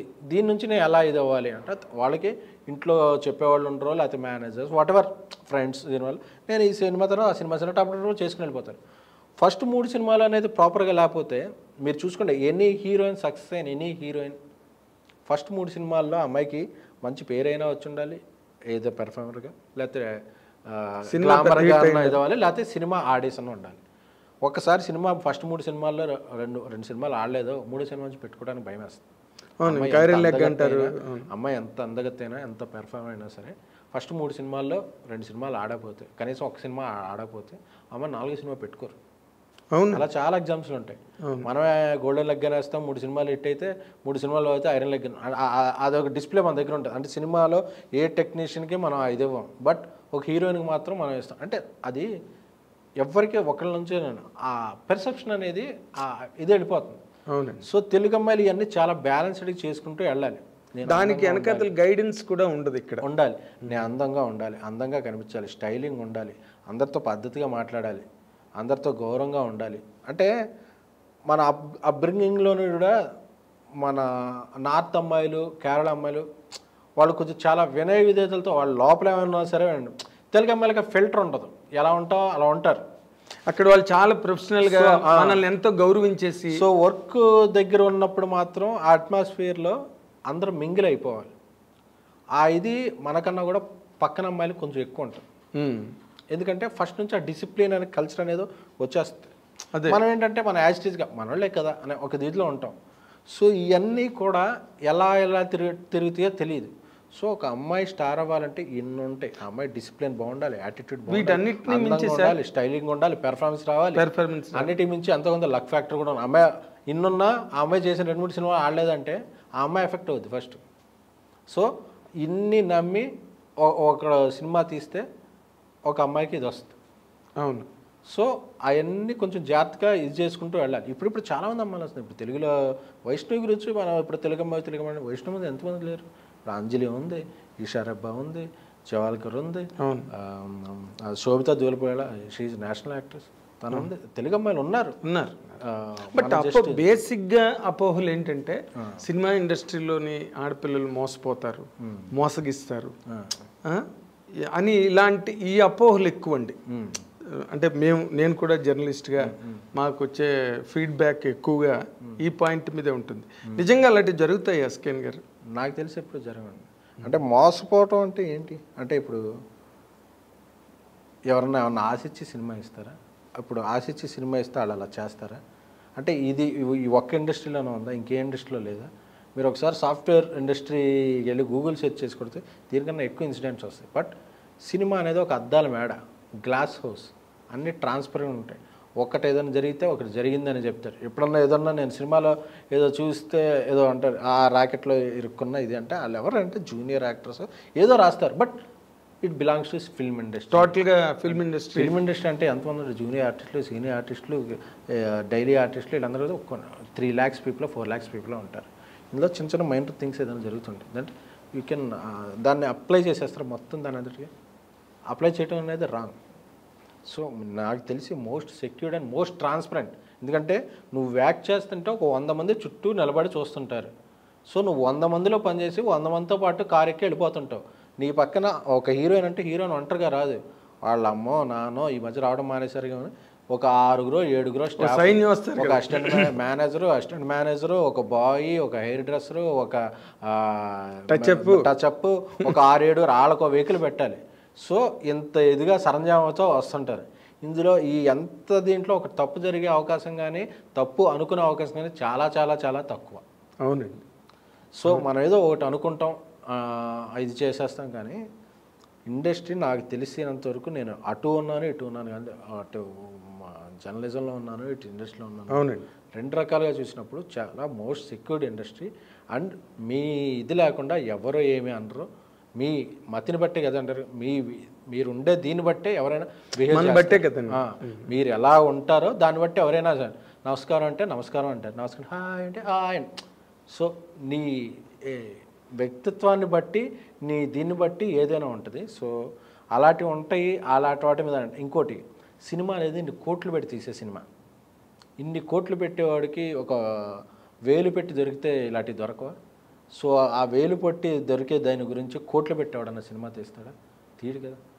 ఆడు కోట్లు సినిమా పెట్టేవాడికి ప్రొడ్యూసర్కి ఆడికి షేక్ వస్తుంటుంది. అరే నీ అమ్మ నేను కోట్లు పెట్టాను ఇది మళ్ళీ రిటర్న్ ఎలా వస్తుంది? దీన్ని ఎలా తీసుకురావాలి? వడ్డీలు కట్టాలి అని చెప్పి సినిమా ఇండస్ట్రీలో అందరూ కూడా చివరికి ఏదో రకంగా రెమ్యునరేషన్ తీసుకుని వెళ్తారు. హీరో డైరెక్టర్ ఆర్టిస్టులు అందరూ కూడా చివరి రోజు. మాత్రం ఆ సినిమా హిట్ అయితే వాడికి పెట్టిన పెట్టుబడి దాని నుంచి ఏమైనా వడ్డీలు వర్కౌట్ అవుతున్నాయి లేకపోతే వీళ్ళందరూ లాస్ అయ్యే ఫస్ట్ పర్సన్ ప్రొడ్యూసర్. అలాగే సినిమాలో వంద సినిమాలు వస్తుంటే ఒక ఇరవై సినిమాలు హిట్లు అవుతుంటాయి. పదిహేను సినిమాలు హిట్లు అవుతుంటాయి. పది సినిమాలు సూపర్ హిట్లు ఐదు సినిమాలు బ్లాక్ బస్టర్. అంత తక్కువ సక్సెస్ రేషియోలో వెళ్ళాలి అని ప్యాషన్గా. అలా చేసేవాళ్ళుగా ఎవరికి ఈ మైండ్ ఉండదు. సినిమా ఇండస్ట్రీ పేరు చెప్పుకుని ఎవడో ఒక సినిమా వచ్చి కృష్ణానగర్లో ఏదో ఒక బోర్డు పెట్టి చెప్పుకుని వెళ్ళిపోతుంటారు కానీ సీరియల్గా సినిమా తీసేవాడికి రోజు గలగలాడుతుంటుంది అబ్బా, ఏంటి ఈరోజు ఏదో ఉందా? ఈ రోజు వాన పడితే షూట్ క్యాన్సిల్ అవుద్దాం ఆడ మైండ్లో వంద తిరుగుతుంటాయి. ఆ రోజు సాయంత్రం వన్ ట్వంటీ పీపుల్కి ఆడ బత్తాలు డబ్బులు కట్టి సైన్లు పెట్టి చెక్లు ఇవ్వాలి. లేకపోతే రేపు షూటింగ్ రాదు ఆడ ఇన్ని టెన్షన్స్లో ఉంటాడు కానీ ఈ అవకాశన్స్ ఉండవు. కరెక్ట్. ఇప్పుడు నార్మల్గా మనం ఇందాక అనుకున్నట్టుగా ఇప్పుడు వైష్ణవుని సెలెక్ట్ చేసినప్పుడు ఇది మామూలు జనరల్ రెగ్యులర్ కేటగిరీ సినిమా అయితే కాదు. ఏదో ఒక రైల్లో సాంగు లేకపోతే శ్రీశ్వర్ రెడ్డిని ఏదో ఒక బిక్ని వేసుకుని ఒక సాంగు. అలాంటి కథ కాదు ఇది. ఇది చాలా ఒక డేంజరస్ స్లోప్ ఉన్న కథ. దీనిలో ఆ. సీను ఆ. కమిట్ అయిన బెడ్రూమ్ సీను అవన్నీ కూడా ఇవన్నీ ఎలా ఒప్పించారండి? వాళ్ళ మదర్ వాళ్ళ ఫాదర్ వాళ్ళందరినీ మీరు ఎలాగ యాక్సెప్ట్ చేసి నేను చెప్పాను అమ్మాయి నాకు ఫస్ట్ ఒప్పుకోవాలి? నేను రాజేష్ చెప్పి నేను ఇదిలో లిప్ లాక్లో అవి ఉంటే చైన్ అండి అని వెళ్ళిపోయింది చైన్ అంటే వెళ్ళిపోతే రాజేష్ అప్సెట్ అయ్యాడు. ఇదేంటి ఫస్ట్ ఒప్పుకుంది తర్వాత చేయలేదంటే నాకు ఫోన్ చేసింది. అవన్నీ లేకుండా సినిమా చేయించా అండి. ఇలా చీట్ చేసి సినిమా చేయించా. సీజీలో ఇవన్నీ జరగవు కానీ ఒకసారి మళ్ళీ కదినో మొత్తం అని చెప్తే మొత్తం టూ అండ్ హాఫ్ అవర్స్ ఉంది. వినేసి తనే ఇంత ఇంటెన్స్ ఉంది. దీని మీదే సినిమా ఆధారపడి ఉంది. అది చే తీయలేము. ఆలోచించుకో అంటే ఆలోచించుకుంటే కొన్ని గ్యాప్స్ కావాలి టైమ్స్ కావాలి. ఆ తర్వాత నన్ను వచ్చి నేను ఈ సినిమా వల్ల నాకేమైనా డ్యామేజ్ అయితే తర్వాత సినిమాలు రాకపోతే తర్వాత నేనేదో స్లీజ్ దీంట్లో పడిపోయి నన్ను సినిమాలు పెట్టి తీయకపోతే నా కెరీర్ ఏంటి అని నువ్వు అసలు అది మరి మర్చిపో. నువ్వు ఈ సినిమా చేయి. నీ ఫస్ట్ మూడు సినిమాలు నేనే తీస్తా. ఈ సినిమా హిట్ అయినా నేనే తీస్తా ఫ్లాప్ అయినా నేనే తీస్తా. ఆ మూడు అగ్రిమెంట్ మీద పెడతా. అగ్రిమెంట్ మీద పెట్టి నేను నీకు ఇస్తున్నా. ఈ ఇండస్ట్రీలో ఏ ప్రొడ్యూసరు నీ సినిమాకి నువ్వు వచ్చిన బ్యాక్గ్రౌండ్కి ఏమవుద్దో తెలియకుండా ఇది చేయడు. బట్ నేను కంటెంట్ నమ్ముతున్నా రాజేష్ నీ పెర్ఫార్మెన్స్ నువ్వు బాగుంటావని నమ్ముతున్నాడు దీనికి. సో నేను అతన్ని నమ్ముతున్నా కంటెంట్ నమ్ముతున్నా. నీకు తప్పే జరగదు నీకు అలాంటి ఇది రాదు. నీకు పేరు రాకపోయినా పేరు వచ్చినా కూడా అంటే రెండు నీకు పేరు రాకపోయినా పేరు వచ్చినా నీ ఫస్ట్ మూడు సినిమాలు నేనే తీస్తాను. అగ్రిమెంట్ చేసి మరీ ఇచ్చా అమ్మాయి ఓ. అది. దీనికి దీనికి ఎన్నాళ్ళు పట్టిందండి? ఇలాంటి ఈ అమ్మాయితో అదొక టూ వీక్స్ పట్టింది. టూ వీక్స్ వీక్స్ పట్టింది. సో మీరు ఎక్కడైనా ప్రతి చోట కాలయాపన dilly dallying to be or not to be situation ఇదే కదండి. కాదు దీని వెనకాతలు మిమ్మల్ని మోటివేట్ చేసిన పర్సన్ ఎవరు సార్? ఇప్పుడు నార్మల్గా ఇప్పుడు మీరు పడతారు ఆ, ఒక రోజు అనుకున్నది జరగదు ఆ, ఒక రోజు అన్న మాటలు రెండో రోజు ఉండవు. ఒక రోజు తీసిన షూటింగ్ షూటింగ్ ఒక చీటింగ్ అయిపోతుంది ఒక రోజు షూటింగ్. వీటన్నిటి వెనకాతల when you lose your nerve when you lose your spirit వెనకాతలు ఎవరో ఒకరు మిమ్మల్ని నడిపించిన వాళ్ళు ఉండి ఉండాలిగా. పర్లేదు ఎస్కేన్ డోంట్ వరీ ముందుకెళ్ళు. అని అన్న అన్నవాళ్ళు ఉంటారా? ఉన్నారా? Yes direct Maruthi. Maruti. Maruthi garu నన్ను నమ్మాడు. ఎందుకంటే తనకి ఏంటంటే తను మారుతి టాకీస్ అని పెట్టి సినిమాలు అప్కమింగ్ వాళ్ళందరికీ ఛాన్స్లు ఇచ్చేవాడు. ఆ సినిమాలు సరిగ్గా ఆడే కాదు. ఎందుకంటే వాళ్ళ ఛాన్స్లు మిస్యూజ్ చేసుకునేవాళ్ళు. Hmm. సరిగ్గా తీసేవాళ్ళు కాదు. ఆయన అదే నాకు ఒకళ్ళు ఛాన్స్ ఇవ్వడం బట్టి ఇలా వచ్చారు నేను ఇస్తుంటే వీళ్ళు యూటిలైజ్ చేసుకోవడం బాధ అప్పుడు చెప్పా డరే నువ్వు సినిమాలు తీకు నేను తీస్తా మన ఇద్దరం కలిపి బ్యానర్ పెడదాం. నేను తీస్తాను నన్ను నమ్ము. ఎందుకంటే నువ్వు క్రియేటర్. డైలీ ఒకరు ఒకడు ఇది ఒక గాడిద పని ప్రొడ్యూసర్ అనేది.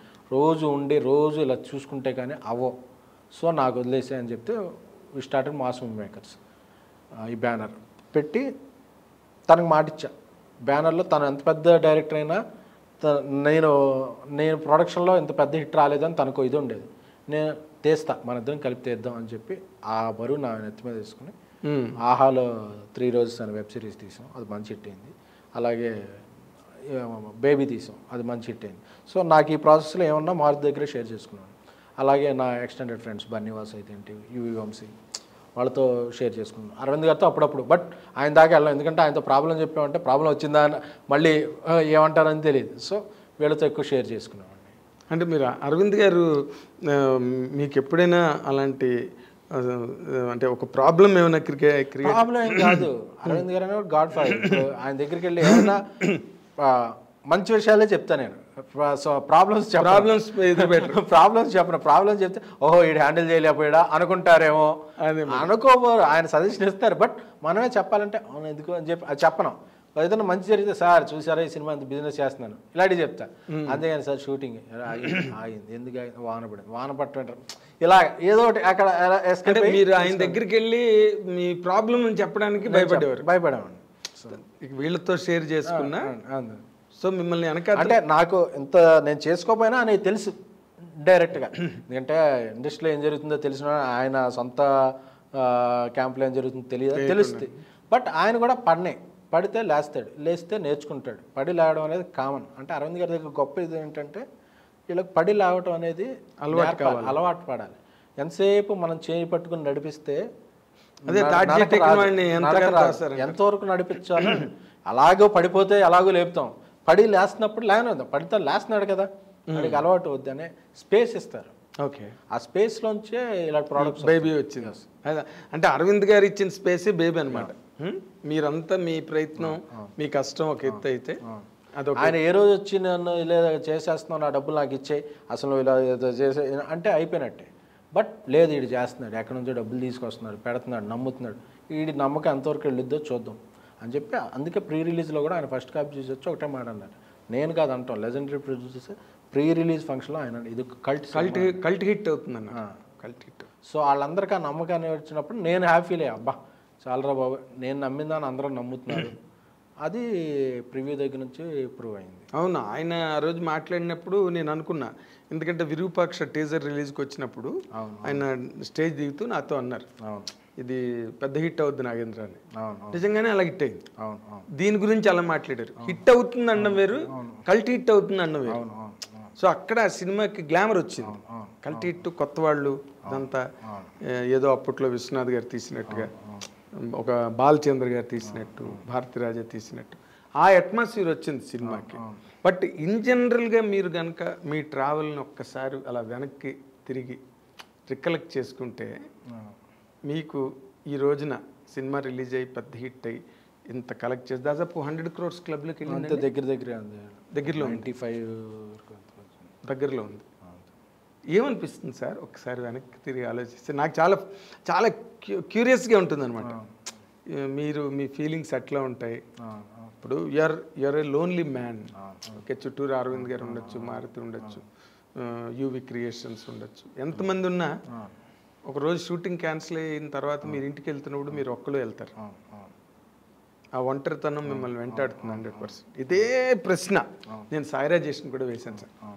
దీనికి మీ సమాధానం ఏంటండి? ఏం లేదండి. లైఫ్ అంటేనే పడి లేవటం ఇదనేది. లైఫ్లో ప్రతి ఒక్కళ్ళు స్ట్రగుల్ చూడాలి. అంటే ప్రతి ఒక్కళ్ళు చాలామంది అంటుంటారు ఓవర్ నైట్లో ఎవరికైనా సక్సెస్ వచ్చింది. కాకపోతే ఆ నైట్కి ముందు ఏడు ఎన్నో వందల వేల రాత్రులు కష్టపడితే ఆ రాత్రి వస్తుంది. సో ఎవరికి ఓవర్ నైట్లు రాదు. ఒక సక్సెస్ నైట్లోనే వస్తాయి బట్ ఆ సక్సెస్ రావడానికి పడిన కష్టం ఎన్నో వందల వేల రాత్రులు ఉంటుంది. అవును. సో నాకు ఆ కష్టం తెలుసు. ఎందుకంటే నేను ఒక మిడిల్ క్లాస్ ఫ్యామిలీ నుంచి వచ్చాను వచ్చాను. నాకెవరు ఇండస్ట్రీలో పెద్ద డబ్బు సాయం కానీ ఇది కానీ ఎవరు. లేరు. సో మీరు స్వయం వచ్చిన నేను ఒక చిరంజీవి గారి అభిమానిగా ఇండస్ట్రీలో ఆయన ఉన్న ఇండస్ట్రీలో ఆయన దగ్గరగా ఉండాలని చెప్పి ఒక జర్నలిస్ట్ అయ్యి ఒక పిఆర్ఓ అయ్యి ఒక ఎగ్జిక్యూటివ్ ప్రొడ్యూసర్ అయ్యి ఒక కో ప్రొడ్యూసర్ ఒక ప్రొడ్యూసర్ అంటే ఏది నేను స్ట్రైట్గా ఇలా వచ్చేలా మెట్టు మెట్టు మెట్టు ఎదుక్కుంటూ నేర్చుకుంటూ ఏదన్నా సంపాదించుకుంటూ మళ్ళీ దాన్నే రిస్క్ చేసుకుంటూ ఇలా వచ్చా. సో నాకు అనేది ఏ రాత్రి కాదు ఇప్పుడు బేబీ అయిపోయింది. ఈ సక్సెస్ వచ్చింది ఈ డబ్బులు వచ్చేసింది నాకేం లేదు. అయిపోయింది. ఒక వన్ వీక్ టూ వీక్స్ హాయిగా ఉంది. ఆ తర్వాత మళ్ళీ ఇప్పుడు ఏం సినిమా చేయాలి? వచ్చిన పేరు ఎలాగా? మళ్ళీ కంటిన్యూ చేయాలి. మనకు మనం అంటే నమ్మకం వచ్చింది దీన్ని ఎలా నిల- నిలబెట్టుకోవాలి? అంతేగాని ఈ సక్సెస్ ఏదో నాది నేను కొట్టేశాను ఇవన్నీ ఎప్పుడు ఉండకూడదు. అంటే నా పర్సనల్గా నాకు ఇష్టం ఉండదు. ఎందుకంటే ఒక సక్సెస్ కొడతాక నాకు ఎంతమంది హెల్ప్ అయ్యారు. ఎందుకంటే సక్సెస్కో ఫేస్ ఉండొచ్చు. ఒకటి కప్ ఎత్తుకోవచ్చు క్యాప్టెన్ వరల్డ్ కప్ వచ్చినప్పుడు టీం బట్ ఒక పది మంది టీం ఉంటే కానీ ఆడ కప్పు ఎత్తుకునే అర్హత లేదు. సో నా టీం స్ట్రాంగ్ నా ఫ్రెండ్స్ స్ట్రాంగ్ నన్ను నమ్మిన పీపుల్ స్ట్రాంగ్. ఇప్పుడు నా నాకు ఇండస్ట్రీలో నేను ఈ స్టేజ్లో ఉన్నానంటే నాకు దర్శకులుగా ఇద్దరు నాకు పెద్ద బ్రేక్ ఇచ్చింది. మారుతి అనే డైరెక్టర్ నన్ను ప్రొడ్యూసింగ్ చేశాడు.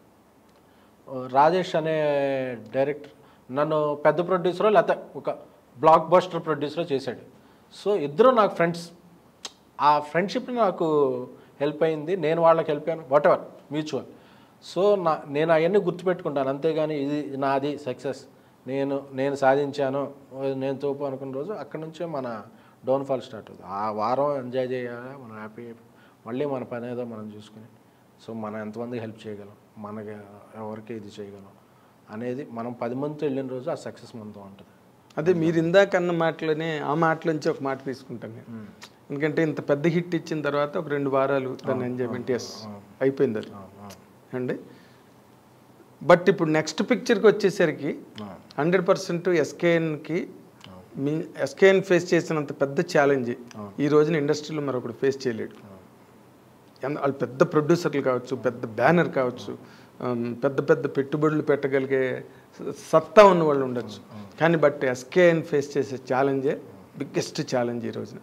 ఆ ఛాలెంజ్ని మీరు ఎలా ఫేస్ చేయబోతున్నారు సార్ రేపు? ఏం లేదు మళ్ళీ మంచిగా కథ ఉన్నాయి నాలుగైదు మంచి కథలు ఉన్నాయి. అవి ఒకదాని తర్వాత ఒకటి తీసుకోవడం మళ్ళీ కష్టపడటం. అంటే ఇదేమీ ఏదో అంటారు చూడండి ఒక రోజుతో ఇదే కాదు. ఏ ఎంత పెద్ద నాకన్నా పెద్ద సక్సెస్లు ఇచ్చిన ప్రొడ్యూసర్లు డైరెక్టర్లు ఇండస్ట్రీ ఎనిమిది ఏళ్ళు ఎంతోమంది చూస్తుంది ఆ శుక్రవారం మనం హీరో ఆ తర్వాత అయిపోయిందండి మళ్ళీ. మా తర్వాత మనం ఏదో అంటారు మ్యూజికల్ చైర్స్లో ఆ రోజు మనం అంతే. మళ్ళీ పరిగెట్టాలి మళ్ళీ మళ్ళీ కష్టపడాలి మళ్ళీ ఈసారి కొంచెం కంఫర్ట్ ఉంటుంది మనల్ని నమ్మేవాళ్ళు ఎక్కువ ఉంటారు కాబట్టి మన సినిమా అమ్మడానికి అంత కష్టపడక్కర్లా. ఎందుకంటే బట్ మేకింగ్ వచ్చేసరికి మేకింగ్ అంతే కష్టపడాలి. మేకింగ్ అంటే ఇప్పుడు దీన్ని మ్యాచ్ చేయాలి మళ్ళీ మ్యాచ్ చేయాలి అంతకన్నా ఉండాలి. అందరూ చెప్తారు బేబీ తర్వాత అని రాస్తారు. సో మళ్ళీ మ్యాచ్ చేయాలి.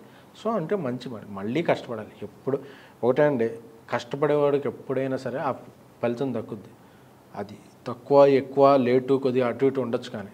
సో ఆ కష్టం అయితే నేను ఎప్పటికీ పడతాను. ఆ కష్టపడలేని రోజు నేను ఇండస్ట్రీలో ఉన్నాను నేను ఏదన్నా హ్యాపీగా ఇంకా సెటిల్ అయ్యి సినిమాలు చూస్తూ కూర్చుంటా చాలేరా బాబు వచ్చిన డబ్బులు అని చెప్పి బ్యాంకులో వేసిన ఆ ఇంట్రెస్ట్ కానీ కష్టపడని రోజున నేను ఏదో ఇది ఉంది కదా నాకేదో ఒకటి వచ్చింది చుట్టూ ఇంతమంది ఉన్నారని కంఫర్ట్ జోన్లో మాత్రం ఉన్నాం. రోజు కష్టపడదాం నేను. ఇప్పుడు కష్టంలో రెండు రకాలండి. కారు వేసుకుని ఊరంతా తిరగడం కూడా కష్టం అవుతుంది. ఇప్పుడు మీ కష్టం అది కాదు. ఇప్పుడు మీరు లవ్ కంటెంట్ మీద అల్టిమేట్ సినిమా తీసేశారు. అవును అవును. ఇంకా అంతకన్నా తీయడం అన్నది ఇప్పుడు ఎవరికైనా ఛాలెంజ్ బేబీ మీకే కాదు. ఇప్పుడు ఏ కైండ్ ఆఫ్ జానర్లోకి వెళ్ళాలని మీరు ఆలోచిస్తున్నారు ఇప్పుడు? నా దగ్గర నాలుగైదు జోనర్లు ఉన్నాయి. సైఫై ఫ్యాంటసీ ఉంది. మళ్ళీ ఒక యూత్ కాలేజ్ ఉంది. ఒక కమర్షియల్లోనే ఒక కొత్త మేకింగ్తో ఒక కథ ఉంది. అలాగే నేను రాజేష్ వేరే అనుకుంటున్నాం ఒక కొత్త అన్నీ ఏ జోనర్ చేసినా ఇప్పుడు ట్యాక్సీ వాళ్ళ చేసా. హర్రర్లోనే హర్రర్లోనే ఫన్ ఉంటుంది ఒక ఫ్యాంటసీ సైఫై ఎలిమెంట్ అంటే కొంచెం ఇది బేబీ చేసాం. ఇది యూత్లోనే ఒక కొత్త యాంగిల్ తీసుకున్నాం. ఫస్ట్ ఈ రోజుల్లో చేసాం. అదొక ట్రెండీ అప్పట్లో కాంటెంపరీ సినిమా ఫైవ్ డీతో చేస్తుంటే. అలాగా ఏ సినిమా చేసినా దాంట్లో కొంచెం ఎడ్జ్ ఏదో కొత్తదనం ఏదో అసలు ఈ సినిమా ఎందుకు టిక్కెట్ మార్నింగ్ షో తెగాలి. అలాంటి కాన్సెప్ట్లు పట్టుకునే మేకింగ్ అలా చేసుకోవాలని నా ఇది. ఓకే. అంటే ఇమీడియట్గా జంప్ అవ్వడానికి ఒక సబ్ ఒక స్క్రిప్ట్ని అయితే ఆల్రెడీ మీరు సెలెక్ట్ చేసుకుని ఉంటారు. అవును నాలుగైదు ఉన్నాయని చెప్పారు. ఎందుకంటే ఒక ఫిక్స్ అవుతారు కదా మీరు. ఇది చెయ్యాలి. బేబీ లాంటి స్క్రిప్ట్కే మీరు ఫిక్స్ అయ్యారంటే ఇప్పుడు మీరు ఫిక్స్ అవ్వడం అనేది అంత పెద్ద కష్టం కాదు. దేనికి ఫిక్స్ అయ్యి ఉంటారు ఇప్పుడు మీరు చెప్పిన నాలుగింటి అన్నిటికీ ఫిక్స్ అయ్యా. ఏది ముందు ఏది ముందు ఏది ఇది అనేది అందులో కొంతమంది స్టార్స్ యాక్ట్ చేయాల్సి ఉంది కొంతమంది మళ్ళీ అప్కమింగ్ ఉంది. సో ఈ మెటీరియలైజ్ అవడానికి వన్ టూ మంత్స్ టైం పట్టుద్ది. వాళ్ళ అవైలబిలిటీని బట్టి. మీరు ఇందాక ఇంకో మాట అన్నారు సార్. అది ఎస్ మొన్న స్టేజ్ మీద కూడా మీరు మెగా ఈవెంట్లో మాట్లాడారు కదా మీరు. మీరు మిడిల్ క్లాస్ ఫ్యామిలీ నుంచి వచ్చారు. మీరు అసలు ఏం సాధిద్దాం అనుకుని హైదరాబాద్ వచ్చారండి? ఓకే మీరు మాట అన్నారు. చిరంజీవి గారిని ఉద్దేశించి. చిరంజీవి గారి సినిమా బ్యానర్లు కట్టేవాడు బ్యానర్లు స్థాపించగలడని అనే మాట. ఇప్పుడు మీరు ఇది సాధించడానికి వచ్చారా? అసలు with what mind you came to film industry? And నాకు అంటే for somebody to take inspiration from you. అంటే నాకు ఎగ్జాక్ట్ గోల్స్ ఏమి అనుకోలేదండి. నాకు ఫస్ట్లో ఇంట్లో ఎక్కడికి వెళ్తావు ఏం చేస్తావు అంటే చిరంజీవి గారి దగ్గరికి వెళ్ళిపోదాం అనుకున్నాను ఆయన చిరంజీవి గారి దగ్గరికి వెళ్ళి నేను వాళ్ళ ఇంట్లో ఆయన పని చేస్తానా? ఆయన సినిమాలు డైరెక్ట్ చేస్తానా? ఆయన స్క్రిప్ట్ రాస్తానా? లేకపోతే ఆయనకి పిఆర్ అవుతానా? లేకపోతే ఏంటి అనేది నాకు తెలియదు. అప్పుడు ఆ మెచ్యూరిటీ లేదు నాకు. ఏంటంటే నేను మా ఊళ్ళో నేను పెద్ద చిరంజీవి గారి ఫ్యాన్. ఏంటంటే నేను చిరంజీవి దగ్గర వెళ్ళిపోతానంటే మా ఇంట్లో ఏంటి ఎక్కడికి పోయి ఏం చేస్తాడు? వాళ్ళు ఏమన్నా మనకి చుట్టాలా పక్కాలా అసలు ఎవరో తెలుసు ఏంటంటే లేదంటే నేను బలంగా నమ్మా. ఏంటంటే నేను పెద్ద అయ్యాక చిరంజీవి గారి దగ్గరికి వెళ్ళిపోతాను ఎలా వెళ్ళిపోతానో నాకు తెలియదు. ఆయన దగ్గరికి వెళ్ళిపోతాను అనేది ఒక్కటే నాకు రూట్ మ్యాప్. అంటే డెస్టినే డెస్టినేషన్ ఉంది. ఎలా వెళ్తానో జర్నీ తెలియదు. తెలియదు. చిరంజీవి గారి దగ్గరికి వెళ్ళిపోతాను. అంటే ఏం వెళ్తామో నాకు తెలియదు. అలా అలా అలా బలంగా నమ్మా. నా- నమ్మితే అలాగే నాకు రూట్ వచ్చింది. నేను జా శిరీష్ నువ్వు ఏదో ఈ వెబ్సైట్ చిరంజీవి గారి మెగా ఫ్యాన్స్ అని ఇలా ఫ్యాన్ సైట్ ఒకటి రన్ చేసేవాళ్ళం చిన్న కాలేజీలో ఉన్నప్పుడు. అక్కడ నుంచి నాకు శిరీష్ పరిచయం అయ్యాడు. నువ్వు రివ్యూలు కూడా రాస్తా ఉంటే రివ్యూలు అక్కడ నుంచి వెబ్సైట్లో జాయిన్ అయ్యా. అక్కడ నుంచి టీవీ నేను జాయిన్ అయ్యా. అంటే ఇదేంటి అంటే నేను ప్రాసెస్లో చిరంజీవి గారికి దగ్గర అవుతున్నా. అంతలో బన్నీ గారు ఆయనకి పిఆర్ అయ్యా. తర్వాత చరణ్. చరణ్ బాబు పిఆర్ అయ్యా. సో అంటే నేను ఆ జర్నీ అనేది నేను నమ్మటం వల్ల స్టెప్ బై స్టెప్ నాకు తెలియకుండా ఒక డెస్టినీ ఒకటి రూట్ మ్యాప్ ముందుకు నడిపించింది. అంటే నేను అదే అనేది చిరంజీవి గారి దగ్గరికి వెళ్తాను ఫిక్స్ అవ్వకపోతే ఇదంతా ఉండేది కాదు. ఆ తర్వాత పిఆర్ అయ్యా. పిఆర్ అయిన తర్వాత నేను ఏం చేయాలి? ఇదేనా? నేను ఇది అనుకున్నా. తర్వాత మార్చి వచ్చి లేదు నువ్వు ప్రొడక్షన్లో ఉండు అన్నాడు. తర్వాత నేను ప్రొడ్యూసర్ అయ్యా. ఆ ప్రొడ్యూసర్ అయ్యి నేను ప్రొడ్యూసరా పిఆరా అంటే లేదు నువ్వు ప్రొడ్యూసర్గా కంటిన్యూ అవ్వాలంటే ఏం సినిమాలు చేయాలంటే ట్యాక్సీ వాళ్ళ చేశా. విజయ్ దేవరకొండ పెద్ద హిట్ అయింది. తర్వాత కూడా మళ్ళీ ఏం చేయాలి? అంటే లేదు ఈసారి నీకంటూ ఒక ఐడెంటిఫికేషన్ వచ్చి పెద్ద సినిమా చేయాలి. అంటే పెద్ద బ్లాక్ బస్టర్ కొట్టాలి. అంటే ఏం కొట్టాలి? అంటే ఒక రిస్కీ సినిమా చేస్తేనే ఇది వస్తాయి అంటే ఒక రిస్కీ సబ్జెక్ట్ ఎంచుకోవాలి. ఆ ప్రాసెస్లో ఇది వచ్చింది. అంటే ఒక్క ప్రాసెస్ నుంచి అన్నీ ఇంటర్లింక్ అయినాయి. అంతేకాని నేను ఇక్కడికి వచ్చేసి ఏదో సినిమాలు తీసి డబ్బులు అసలు నా మైండ్లో లేదు. ఏమీ లేదు next mind లో నా మైండ్లో చిరంజీవి గారి దగ్గరికి వెళ్ళాలనే గుడ్డిగా ఒక బ్లైండ్ స్పాట్ అదే తప్ప నాకు ఇక ఇక్కడ ఇలా ఉండాలి ఇది చేస్తే అది అవుతారు అది చేస్తే ఇది అవుతారు అని కూడా తెలియదు. బట్ నా మంచి మనసు నేను నమ్ముకున్న నమ్మకమో నేను పడిన కష్టమో లేకపోతే మనం ఏదన్నా ఒక బలంగా నమ్మితే యూనివర్స్ దానికి రూట్ చేస్తుందంటే ఇప్పుడు చిరంజీవి గారి దగ్గర నేను కూర్చుని ఆ ఫంక్షన్కి చిరంజీవి గారు రావడం ఏంటి? చిరంజీవి గారితో డాన్స్ కూర్చోవడం ఏంటి? చిరంజీవి గారు నన్ను నువ్వు నెక్స్ట్ సినిమా ఏదన్నా చేస్తానని నాకు కథ చెప్పు అంటే అంత దాకా వెళ్ళానంటే గ్రేట్ ఆ ఫ్యూచర్లో ఏముందో నాకు? ఇంకా తెలియదు. ఫ్యూచర్ నో అసలు ఒక మెగాస్టార్ మీతో ఆ మాట అనడం అన్నదే that is the highest achievement in your life అండి. ఆ నమ్మకాన్ని మీరు నిలబెట్టుకోగలిగారు కదా. With your performance integrity character hard work ఇవన్నీ కూడా. బికాజ్ ఇప్పుడు మీలాంటి వాళ్ళే ఇప్పుడు అరవింద్ గారు లాంటి వాళ్ళు అశ్విని దత్ గారు లాంటి వాళ్ళు వీళ్ళందరూ ఓ పెద్ద స్థాయికి వెళ్ళిపోయిన వాళ్ళు. ఇప్పుడు ఈ రోజున యూత్ ఎవరైనా ఒక పర్సనాలిటీ డెవలప్మెంట్ ఇది పాయింట్ ఆఫ్ పర్సనాలిటీ డెవలప్మెంట్ అది మిమ్మల్ని చూసి నేర్చుకోవడానికి కావాల్సిన కంటెంట్ మీ దగ్గర ఉంది. Hundred percent. బయటకు వచ్చిన ఏదో అల్లరి చిల్లరిగా తయారవ్వకుండా అవకతవకగా అడ్డదిడ్డంగా తయారవ్వకుండా మీరు ఒక పాత్ని నమ్మి దానిలో ముందుకు వెళ్ళారు సో ఈ రోజున మీకు ఆ రిజల్ట్ వచ్చింది. నిజంగా మీరు చిరంజీవి గారితో సినిమా చేసే అవకాశం వస్తుందండి. మీరు మీ ఊహలో. అంటే మీరు కాదు నేను ఇప్పుడు అక్కడ మా ఊర్లో బయలుదేరినప్పుడు నేను చిరంజీవి గారి దగ్గరికి వెళ్ళిపోతాను అన్నది ఒకటే నా ధ్యేయం అన్నారు. వచ్చేసారు అయిపోయింది. పక్కనే కూర్చున్నారు. సినిమాకి వచ్చారు. మిమ్మల్ని మెచ్చుకున్నారు. అది అయిపోయింది. కథ చూసుకోన్నారు చేస్తారా మీరు? అంటే నాకు చిరంజీవి గారు పాలిటిక్స్లోకి వెళ్ళినప్పుడు ఒకటి బాధేసేది. అప్పటికి నేను పిఆర్గా ఉన్నా. చరణ్ బాబు సినిమాలు కళ్యాణ్ బాబు సినిమాలు బన్నీ గారి సినిమాలు అన్ని నేపిఆర్ నేను చేసాను అప్పుడే చిరంజీవి గారు అకస్మాత్తుగా సినిమాలు ఆపేశారు ఆయనమ్మ నేను చిరంజీవి గారి సినిమాకి పిఆర్ చేసే అవకాశం రాలేదా చేయలేకపోయాను ఏంటిది అసలు నాకు వచ్చిందే ఆయన గురించి కదా ఇంక చిరంజీవి గారి సినిమా చాలా బాధపడాను ఒక ఫైవ్ ఇయర్స్ ఆయన అంత సినిమాలు చేయలే ఆ తర్వాత నేను పిఆర్ ఆపేశాను సరైనోడు ఐ గెస్ అఫీషియల్గా last cinema Sarrainodu is last తర్వాత నుంచి నా టీమే చేసేది. అది ఇప్పుడు నా టీం కూడా వేరేది. వెళ్ళిపోయారు. సినిమాలు ఆపేశాక నాకు బాధ వేసింది. నేను ఆయన మళ్ళీ స్టార్ట్ చేసే నేను ఆపేసా దీన్ని నేను ప్రొడక్షన్లోకి వచ్చేసాను? ఏంటి ఇది ఆ తర్వాత ఏదో రాసి పెట్టిందాం చిరంజీవి గారు ఎప్పటికన్నా ఏదైనా జర్నీ. అందుకే నేను ప్రొడ్యూసర్గా మళ్ళీ మళ్ళీ విజయాలు దక్కినాను కానీ ఎప్పుడైనా ఒక హైయెస్ట్ మౌంటైన్ ఎక్కేవాడికి ఏంటంటే ఎవరెస్ట్ ఎక్కాలని ఉంటుంది. సో చిరంజీవి గారు అభిమానిగా ఈ లైన్లో ఉన్నా కాబట్టి మనసులో ఉండొచ్చు. బట్ అది నేను ఇప్పుడు చెప్పడం కన్నా ఇంకొన్ని విజయాలు సాధించి ఆ స్థానాన్ని చేరుకుంటూ బాగుంటుంది అవును కాదు సార్ ఇప్పుడు మీరు ఇంతవరకు వచ్చి చిరంజీవి గారి పక్కన కూర్చుంటాను. మీరు ఎప్పుడైనా ఊహించారా మీ ఊళ్ళో ఉన్నప్పుడు? అవును ఊహించలేదు. ఊహించలేదుగా? కూర్చున్నారుగా? ఇప్పుడు మీరెందుకు కప్పదాటుగా సమాధానం చెప్తున్నారు దానికి? కాదు. అంటే ఒకేసారి నేను అంత కోరుకుంటాం కరెక్టా కాదా దురాశలాగా? వినిపిస్తుందేమో నాన్న. కాదు కరెక్టా కాదా తెలియదు బట్ ఎస్ నాకైతే థాట్ అంటే he's my favourite idol he's my demi god matinee idol so yes నాకు ఉందా కోరిక? ఓ వెరీ నైస్ ఒక్కవేళ మీరు చిరంజీవి గారితో సినిమా చేసే అవకాశం ఏం వచ్చింది? Let's resume will celebrate hero only now మీకు ఛాన్స్ వచ్చేసింది.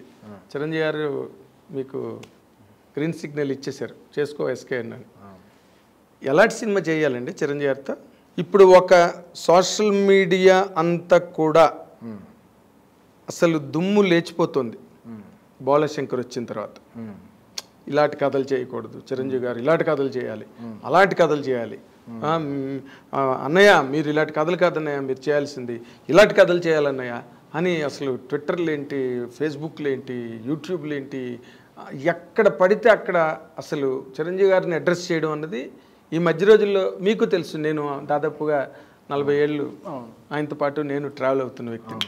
ఇంత నేను ఎప్పుడు చూడలే. మీరు సోషల్ మీడియా కింగ్ మీరు. కింగ్ ఆఫ్ సోషల్ మీడియా అయ్యో మీకు సెపరేట్ పేజెస్ ఉన్నాయి మీరు భలేవర్లాగా ఉన్నారు సార్. నేను I'm also living in the same industry మీరు if given a chance Chiranjeevi గారితో మీరు అలాంటి సినిమా చేయాలనుకుంటున్నారు. కెన్ యూ సే అంటే ఇంతకుముందు ఒకటి చెప్తాను మీరు బాలశంకర్ మొన్న ఏదో ఎక్కడ కూడా అడ్రస్ చేశాను చిరంజీవి గారు బ్లాక్ బస్టర్ కొట్టినప్పుడు అంతా ఇదిగా ఉంటుంది ఎప్పుడు ఒక సినిమా ఎక్స్పెక్టేషన్ రాకపోయినా నాకు తెలిసి నేను బాగా యాక్టివ్గా ఉన్నప్పటి నుంచి హిట్లర్ ముందు అంతే. చిరంజీవి గారు అవును రిక్షాడు తర్వాత చేయలేదు కదా చిరంజీవి గారు అయిపోయింది. చిరంజీవి గారు ఇంకా చిరంజీవి గారి సినిమాలు ఆడడం ఆ తర్వాత మళ్ళీ ఆయన ఏడు సినిమాలు వరుసగా టకా టకా టకా టకా కొట్టాడు. ఆ తర్వాత మళ్ళీ మృగరాజు ఏదో సినిమా వచ్చింది. ఒక- సినిమా ఆడింది అప్పుడు. అవును డిసప్పాయింట్ చేసింది అంతే చిరంజీవి సినిమా అయిపోయింది ఇంకా చిరంజీవి పని అయిపోయింది. తర్వాత మళ్ళీ ఇంద్ర వచ్చింది టాగూర్ వరుసగా.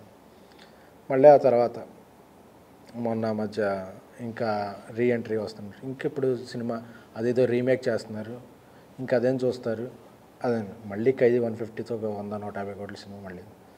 మొన్న మొన్నటి వరకు వాల్తెరు వేరే కూడా ముందు కూడా "ఆ, మళ్ళీ చిరంజీవి గారిది ఆశ్చర్య ఆడలేదు. ఇది గాడ్ ఫాదర్ పర్వాలేదు. మళ్ళీ చిరంజీవి గారు ఎలా అయిపోయింది ఎరా ఎలా అయిపోయిందన్న ప్రతిసారి ఆయన కొత్త సిరాతో హిస్టరీని లిఖిస్తూనే ఉంటాడు ఆయన. అది అయిపోవటానికి అదేమి అందుకే ఒకటి చెప్పా form is temporary megastar is permanent అని. జనరేషన్స్ మారినా ఏదైనా ఆయన కొడతానే ఉంటాడు. సో ఒక సినిమా ఆడొచ్చు ఆడకపోవచ్చు. మొన్న కూడా నేను చెప్పాను ఎందుకంటే మొన్న నేను కొన్ని చెప్తే ఒకటి చెప్తే కొన్ని పేజీల్లో తప్పుగా వేశారు. చిరంజీవి ఫ్యాన్స్ని బ్లేమ్ చేసిన ఎస్కేఎన్. ఎస్కేఎన్ వాడు ఎస్కేన్ అన్న పరా ఏలేనా ఎస్కేన్ ఆల్సో చిరంజీవి గారి ఫ్యాన్. నేను చెప్పింది ఏంటంటే ఇంతవరకు ఏ సినిమా రిలీజ్ అయినా అది hit or flop irrespective of మూడు నాలుగు రోజులు ఫ్యాన్స్ కాసుకునేవాళ్ళు. ఇప్పుడు ఏంటంటే కొన్ని మీడియా అవ్వచ్చు కొన్ని పేజీలో కొన్ని హ్యాండిల్స్ ఇవన్నీ కూడా కొంత ఇన్ఫ్లుయెన్స్కి గురయ్యి ఫస్ట్ మూడు రోజులు మనమే సినిమాని కిల్ చేసుకుంటున్నాం. ఫస్ట్ మూడు రోజులు మనం బాగుండాలి. మనంతా సంఘటితంగా ఉండి సినిమాని ఎంజాయ్ చేసి నాలుగు రోజులు డిస్కషన్ పెట్టుకుంటే సినిమా తీసిన వాళ్ళకి చూసిన వాళ్ళకి మనం ఎందుకంటే చిన్న వాళ్ళ సంఖ్యలో కూడా చాలా మంచి ఎలిమెంట్స్ ఉన్నాయి. ఆయన చాలా అందంగా కనిపించాడు చాలా గ్రేస్ఫుల్గా స్టెప్ వేశారు అవన్నీ సైడ్ ట్రాక్ అయిపోయినాయి. ఓన్లీ ఈ ట్రోల్ స్క్రీన్ను దీనికే పడి ఆ దీనిలో పడి మనం కూడా రీమేక్ చేయకూడదు అది చేయకూడదు. ఏదైనా చేయొచ్చండి. ఇప్పుడు చిరంజీవి గారికి కంబ్యాక్ వచ్చిన హిట్లర్ అప్పుడు ఒక రీమేక్ ఖైదీ వన్ ఫిఫ్టీ ఒక రీమేక్ సో రీమేక్ అదే అనేది లేదు. చేసేది ప్రజెంటేషన్ అనేది ఫ్యాన్స్ అందరం పండగ చేసుకునేలా ఉండి అన్ని ఎలిమెంట్స్ కుదిరితే అది ఏ సినిమా అయినా చేయొచ్చు. అంటే ఇప్పుడు మీరు ఇందాక చెప్పిన దానిలో ఒక ధ్వని అంటే ఫ్యాన్స్లో కొంత మార్పు వచ్చిందనా? ఏంటి? మార్పు అని కాదు. అప్పుడప్పుడు మనం ఫ్రస్ట్రేషన్ అనేది వెంటనే వెళ్ళగట్టేకర్లా ఎందుకంటే కొంతమంది ప్రవోక్ చేస్తారు మోక్ చేస్తారు అరే ఈ సినిమా అలా చేసి ఉండకూడదు అలా కొంతమంది చెప్పినప్పుడు వెంటనే నేనైతే నేను నా నా కో ఫ్యాన్స్కి చెప్పా. ఇది వెళ్ళవచ్చుకున్నది ఓ రెండు మూడు రోజుల తర్వాత. అసలు నిజంగా అంత బ్యాడ్ ఉందా? అది మనం చూసి మనం ఇదయ్యి ఆహా అంత ఇదవ్వాలని తప్ప అది మనకు అనిపిస్తే మనం ఫీల్ అవుతాం తప్ప ఎవరో మూడో పర్సన్ ఇలా చేయకూడదు ఫ్యాన్స్ ఇలా చూసారా ఇలా చేశారా అంటే ఆ దీంట్లో పడిపోవద్దు. మనం అనేవాళ్ళు ఎప్పుడు కొంత బ్యాక్ చేయాలి. ఫ్యాన్స్ అనేవాళ్ళు మేము బ్యాక్ చేస్తాం.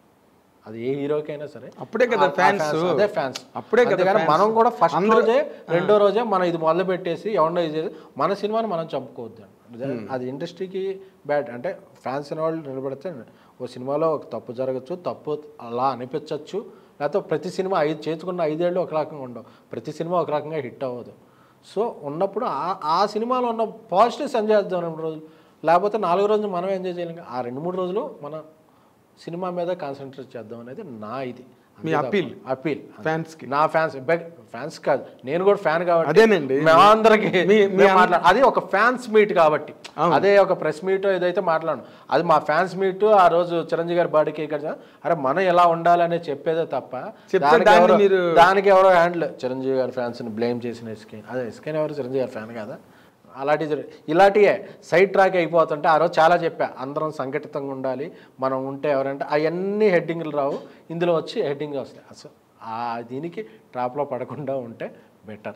అంటే మరి అదే ఈ సోషల్ మీడియా ఇంపాక్ట్ అన్నది ఈ రోజున ఇండస్ట్రీని రూల్ చేస్తున్నది సార్. అంటే సొసైటీని రూల్ చేస్తున్నది. అందులో మోర్స్ సినిమా ఇండస్ట్రీ. ఇప్పుడు ఈ రోజు సినిమా రిలీజ్ అయిన దగ్గర నుంచి రిలీజ్ అవ్వకముందే ఇప్పుడు మనకి యూఎస్ రిపోర్ట్ వచ్చేస్తుంది. మిడ్ నైటే తెల్లవారేసరికి. ఆ రిపోర్ట్ చూసి సినిమాకి వెళ్ళడం మానేస్తున్నారు చాలా మంది ఆ తర్వాత ఇంకా పబ్లిక్ టాక్ అని థియేటర్ దగ్గర. తర్వాత వెబ్సైట్లో వచ్చిన తర్వాత ఎవరి స్వేచ్ఛ ఎవరి స్వతంత్ర రచన ఎవరి సొంత అభిప్రాయం వాళ్ళు రుద్దుతున్నారు. దానివల్ల సినిమా అన్నదానికి ఎంత డ్యామేజ్ మౌత్ టాక్ స్ప్రెడ్ అవ్వడానికి కూడా టైం లేదు. అవును అవును. ఏం సార్? అవును అవును. ఇప్పుడు దీన్ని అసలు దీనికి ఏదైనా మీరు do you find any solution ఒక ఎస్కేనో సంఘటితంగా ప్రొడ్యూసర్ కౌన్సిల్ అందరూ తెలిపి అంటే నేనేది ఎవరిని బ్లేమ్ చేయట్లా? అంటే వ్యక్తిగత స్వేచ్ఛను కూడా హరించట్లా?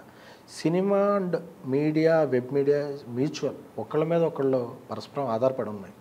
ఇంటర్ డిపెండెంట్ ఎందుకు ఇంటర్ డిపెండెంట్ ఇంటర్ డిపెండెంట్ ఉన్నప్పుడు ఒక సినిమాని రెండు మూడు రోజులు బతకనే. ఉంది అర్ధరాత్రే తెల్లారుజామున లేకపోతే రేపు రిలీజ్ అయ్యే ముందు ఒక హ్యాండిల్లో వస్తుంది. ఈ సినిమా టాక్ బాగాలేదంట. అంటే ప్రిపేర్ చేయొద్దు. వచ్చే రిజల్ట్ అని రానే ఉండు. ఆడేం చెప్పేస్తాడు. చూశాక నాలుగు షోలు చూసా వీకెండ్కి వచ్చేస్తుంది రిపోర్ట్ కరెక్ట్గా అందరూ చూసి. అది రానిచ్చేయండి. భారతదేశంలో ఉన్న వెబ్సైట్లు అన్ని మీడియాలో కూడా వచ్చుకుంటే ఇది ఎంటైర్ మీడియా కాదు. ఒక టెన్ ట్వంటీ పర్సెంట్ సోషల్ మీడియాలో యాక్టివ్గా ఉండే వెబ్సైట్లు హ్యాండిల్స్ ఉన్నాయో మీరు డిసైడ్ చేసేయద్దు. నేను చిరంజీవి గారి సినిమా అట్లా ప్రతి సినిమాకి ఏ సినిమా అయినా? ఏ సినిమా అయినా వాళ్ళు పాపం చాలా కష్టపడి తీస్తారు. బతికినే ఉండి ఒక రెండు రోజులు. ఎందుకంటే వాళ్ళు యాడ్స్ ఇస్తున్నారుగా మీకు? వాళ్ళు యాడ్స్ లేకుండా లేదు మేము సినిమా ఇండస్ట్రీకి సంబంధం ఏం లేదు. మేము ఇండిపెండెంట్ ఆర్గనైజేషన్ మాకు స్వతంత్రంగా బతుకుతున్నాను. మీకు యాడ్స్ ఇస్తున్నారు ఇంటర్వ్యూలు ఇస్తున్నారు కంటెంట్ ఇస్తున్నారు. సో అలాగే మీరు కూడా పబ్లిసిటీ ఇస్తున్నారు ప్రమోట్ చేస్తున్నారు. ఇంటర్లింక్. మీడియా మీడియా ఉండటం వల్ల సినిమా ఇండస్ట్రీకి వెళ్ళిపోతుంది. కొరిలేటివ్ రెండు. కోరిలేటివ్ సో ఒక్క రెండు గంటలు అప్పీల్ చేస్తున్నాను. ఎవరిని తప్పుగా కూడా అంటలా మీరు అలా చేయొద్దని. ఒక రెండు రోజులు స్పేస్ ఇవ్వండి. అలాగే మీకెవరో ఒక ఇంటర్వ్యూ ఇస్తాను ఒక ఇంటర్వ్యూ ఇవ్వకపోతేనో లేకపోతే ఆ డైరెక్టర్తో ఏదో ఉందనో లేకపోతే ఇదోనో మీరు రాసేయకండి. ఇప్పుడు ఒక అప్డేట్ రాసేస్తుంటారు. ఒక అప్డేట్ అనౌన్స్ చేయాలి ప్రొడ్యూసర్ దాన్ని గ్రాండ్గా అనౌన్స్ చేసే ముందే మీరు అనౌన్స్ చేస్తే ఆ ఎక్స్క్లూజివ్నెస్ ఏముంటుంది? షాక్ వాల్యూ పోతుంది షాక్ వెళ్ళిపోతుంది. దీనికి ఎవరు చెప్పాలి? ఎవరు ఎనరు. అదేంటి మా అప్డేట్ మేమేమో అంటారు అప్డేట్ మీరు ఇస్తాం కాదు. అప్డేట్ ఇచ్చే ముందు ఆ రైట్ ప్రొడ్యూసర్ది అతందే ఆ ఇది ఇప్పుడు నేను వంటకం వండుతున్నానంటే నేను పెట్టాలి. ఆ మొక్క తీసుకొచ్చి ఏంటి నేను పెంచకూడదు అంటే నువ్వు సినిమా తీసి నువ్వు అప్డేట్. నీ సినిమా అప్డేట్. వేరే అప్డేట్ నువ్వు ఎలా ఇచ్చేస్తావు? సరే ఇచ్చారు. నేను అదే ఒకళ్ళిద్దరిని కూడా కాదు చాలా ఇలాంటి కొన్ని హ్యాండిల్స్ ఉన్నాయి. అర్ధరాత్రి మీరు వేసేస్తే సినిమాలు హిట్ అయినవి ఉన్నాయి ఆ టాక్ తర్వాత. అవును అవును. అప్పుడు ఏం చేస్తారు? అవును. అందుకే ఉపయోగించే పదాలు కూడా ఇది ఓటీటీలో చూస్తే బెటరు. రాడ్డు ఎందుకు తీశారు? ఇలాంటి పదాలు వద్దు. అంటే ఇన్ ఇంటెన్సిటీ తగ్గించండి. సినిమా అనేది చచ్చిపోయింది చాలా వరకు. థియేటర్లు చచ్చిపోయినాయి. మల్టీప్లెక్స్ల మీద. ఇప్పుడు ఏదో సినిమా బేబీ గ్రాస్ అంత ఉంటే నాకు వచ్చేది ఏదో ప్రకాష్ రాజ్ ఐస్ ముక్కలా ఇలా ఉంది. ఏంటంటే మల్టీప్లెక్స్ల రెంట్లు థియేటర్ రెంట్లు ఇలా ప్రొడ్యూసర్ అన్నవాడికి హిట్ సినిమా తీసిన ప్రొడ్యూసర్కి ఇలాంటిది ఉంది. సో మీరు ఇండస్ట్రీకి సహాయం చేయండి. ఎందుకంటే ఇండస్ట్రీ హెల్ప్. అంటే పది మంది సహాయం చేస్తేనే ఇండస్ట్రీలో ఉంటుంది. సో అందుకే ఎప్పుడూ కూడా నేను ఇండస్ట్రీలో ఎవరన్నా ఒక జర్నలిస్ట్ ఎవరన్నా ఒకటి తిట్టినా ఒక మీడియాని తిట్టినా కూడా తిట్టదండి. అంటే అందరం కలిసి బతకాల్సిన వ్యవస్థ ఇది. సో పరస్పరం ఆధారపడాల్సిన వ్యవస్థ. సో అందుకే ఒక అర్ధరాత్రి ఒక తెల్లవారుజామునో ఒక సినిమాని పరుషంగా వేసి ఒక రోజు ఆగండి. లేకపోతే ఒక సాయంత్రం ఒక ఆగండి. లేదా సినిమా ఆడలేదు వదిలేయండి.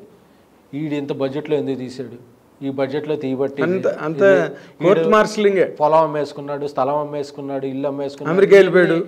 ఇవన్నీ అనవసరం. అంటే ఇవన్నీ యాడింగ్ మోర్ ఫ్యూయల్ అవును. అంటే సినిమా అంటే ఇంటెన్సిటీ బోతద్దంలో చూపిస్తారు ఒక రివ్యూ రాయేశారు ఓకే. రాలేదు and మిమ్మల్ని కూడా తప్పుగా మీరు పొరపాటు చేసేయండి అనట్లా రాస్తారు. అయిపోయిన తర్వాత మళ్ళీ ఎనాలిసిస్ వీడు అసలు ఎలాంటి దిక్కుమాలి సినిమా ఎలా ఒప్పుకున్నాడో ప్రొడ్యూసర్ అంటే ఎవరికి తెలియదు సినిమా. అయ్యే వరకు మనం రోజు అంట ఇంట్లో Highly ఆ, anticipated ఇంట్లో వంట films చేసే పోయినాయి. అమ్మాయినా బియ్యం వేసేటప్పుడు ఒక రోజు జావ అవుద్ది. అంటే అందుకని అమ్మ మనకేదో జావ పెట్టాలని కాదు. సో ఓ ప్రాసెస్లో పెట్టినందుకు అమ్మ కూడా గిల్ట్లో ఉంటుంది. అన్నప్పుడు నువ్వేంటే ఎలా చేసావు అని అనకూడదు. మనకి అమ్మ మన ఆకలి తెరచడాకే కదా. సో ఎవడైనా ఒక హిట్ సినిమా తీయాలనే ప్రయత్నిస్తాడు. సో ఒక ఎన్విరాన్మెంట్ క్రియేట్ అవుతుంది. సినిమా బతకటం కన్నా అంటే ఒక సినిమా ఎగ్జాగ్జరేషన్లో ఒక ఇన్ని మీమ్ పేజీలు ఇన్ని యూట్యూబ్ ఛానల్. అందరూ నా స్వేచ్ఛ అంటున్నారు. అందరూ స్వేచ్ఛే. మేము బతకాలి భయ్. మేము బతకాలి. మీ స్వేచ్ఛే మీ స్వేచ్ఛను కాదంట్లా మమ్మల్ని చంపుతూ మీరు బతకద్దు. మమ్మల్ని బతుకుతూ మీరు ఏదైనా సరదాగా చేయండి. అంటే థియేటర్ ముందు నుంచి ఒక వీడియో రాడ్డు రా ఇప్పుడు ఎన్ని బూతులు తిడితే ఎంత ఇది తిడితే అన్ని తమ్మునాయిల్స్ వస్తాయి. అందుకని వెరైటీ వెరైటీ గుంపులు గుంపులుగా ఉంటుంటారు. భయం వేస్తుంది సినిమా.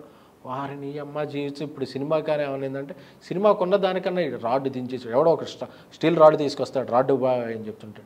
అంటే వెరైటీ వెరైటీ అయిన తమ్మునాయిల్స్ వైరల్ అవుతుంది అంటే ఒక సినిమా యావరేజ్ సినిమా అనేది ఇంతవరకు ఉండేది. అంటే ఒక నాలుగైదు రోజులు వారం రోజులు రెండు వారాలు కలిసింది. ఇప్పుడు యావరేజ్ లేదు. అయితే సూపర్ హిట్ లేకపోతే utter flop. There is no మధ్యలో సోషల్ మీడియా అంటే దీనివల్ల ఎవరిని కాదు అందరూ దీనివల్ల చాలా సఫర్ అవుతున్నారు. అవునండి. సినిమా అనేది ఉంటేనే మీరు కామెంట్ కామెంట్ అనేది సరదాగా ఉండాలి కానీ చేసినట్టు విధంగా ఉండకూడదని. ఎందుకంటే ఈ మధ్య కొంతమంది మీడియా మిత్రులతో కూడా చెప్పా మీరు అలా రాసేయకండి. అంటే పోనీ మనం ఏమి మీడియా నుంచి సినిమా నుంచి ఆశించట్లేదా? లేదు కదా సినిమా బాగుంటేనే కదా మనం బాగుంటున్నాం. సినిమా ఉంటేనే కదా ఈ కంటెంట్ వస్తుంది. సినిమా కంటెంట్ రాసుకుంటేనే కదా మీరు వేరే వేరే గాసిప్పులు వేరే పొలిటికల్ అనాలిసిస్లో రాసుకుంటున్నారు ఈ గాసిప్పులు రాస్తా కదా. అట్రాక్ట్ చేసేది దీని నుంచే కదా. సో అలాంటప్పుడు సినిమాని మాత్రం ఓకే వేసేయకండి బాగుంది అందరం బాగుందాం. మనం బాగుండాలి మీరు బాగుండాలి అందరం బాగుండాలి.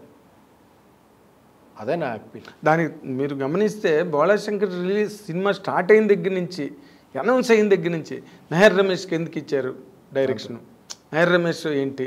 మెహర్ రమేష్తో ఎందుకు పెట్టుకున్నారు? అన్నయ్య మెహర్ రమేష్ వద్దన్నయ్య అని ఇలాంటి కామెంట్లతో స్టార్ట్ అయింది. నేను ఇక్కడే నేను రివ్యూ చెప్పా సినిమా చూసి వచ్చి ఏం చెప్పాను? సినిమాలో అంత మంచి కంటెంట్. చిరంజీవి గారి దగ్గర నుంచి మాస్ ఆడియన్స్ ఏం ఎక్స్పెక్ట్ చేస్తారో అవన్నీ ఉన్నాయి. ఫైట్లు ఉన్నాయి సాంగ్స్ ఉన్నాయి కామెడీ ఉంది ఎంటర్టైన్మెంట్ ఉంది సెంటిమెంట్ ఉంది మంచి సీన్స్ ఉన్నాయి. ఆ కీర్తి సురేష్ని హాస్పిటల్లో జాయిన్ చేసే సీన్ కానీ లేకపోతే చిరంజీవి గారిని కీర్తి సురేష్ హాస్పిటల్లో జాయిన్ చేసే సీన్ కానీ అవన్నీ మంచి హెవీ సీన్స్ మంచి సీన్స్ అవన్నీ కూడా.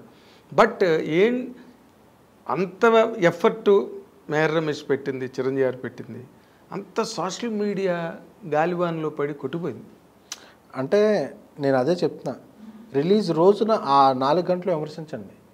సినిమా జరిగినంత కాలం వీడేం చేసినా ప్రిపేర్ చేయొచ్చు ప్రిపేర్ చేయడం అంటే మనం కూడా ఒక దీంట్లోకి వెళ్ళిపోతాం ఓహో ఇన్నిసార్లు రాస్తున్నారంటే ఆడేం తీసుండు అంటే మనం చేసేవాడు కూడా హ్యూమన్ సైకాలజీ ఎలా ఉంటుంటే పది మంది అది గొర్రె కాదురా కుక్క అంటే కుక్క అని. గొర్రెలు గారు ఫస్ట్ నుంచి ఆ ముద్ర వేయడానికి ట్రై చేస్తుంటారు కొంతమంది. అవును. రియల్గా జరుగుతుంది ఇది. కొంతమంది ట్రై చేస్తున్నారు సినిమాలు. అదే చిరంజీవి గారే కాదు చాలా పెద్ద సినిమాల మీద ఇదే జరుగుతుంది. ఎందుకండి? అది స్వలాభం అనుకోనివ్వండి వారి ఎజెండాలు అనుకోనండి వాళ్ళు మోసే జెండాలు అనుకోండి ఏదన్నా అనుకోండి. ఇండస్ట్రీ నుంచి ఇప్పుడు నేను మాట్లాడినందుకు దీనికి నాకు కొంత బ్యాక్లాష్ వస్తుంది. ఇప్పుడు నా మీద నెగిటివ్ ఆర్టికల్స్ పడవచ్చు బట్ ఎవడో ఒకడు మాట్లాడకపోతే నాకన్నా పెద్ద నిర్మాతలు మాట్లాడాలి. వాళ్ళు ఎవరో మాట్లాడట్లేదు లేకపోతే వాళ్ళకి తీరిక లేదో ఏదో. లేకపోతే వాళ్ళు ఇంకా పెద్దగా ప్లాన్ చేస్తున్నారో నాలాంటి చిన్నోడికి తెలియదు కాబట్టి నేను అనుకుంటే ఒక సినిమా మీద ముందు నుంచి ప్రిపేర్ చేస్తున్నారు. ఈ సినిమా ఇలా ఉండబోతుంది ఇలా ఉండబోతుంది అని. ఆ దీని నుంచి చాలా వరకు తక్కువ ఎస్కేప్ అవుతాయి. కొన్నిసార్లు ఎస్కేప్ అవుతున్నాయి.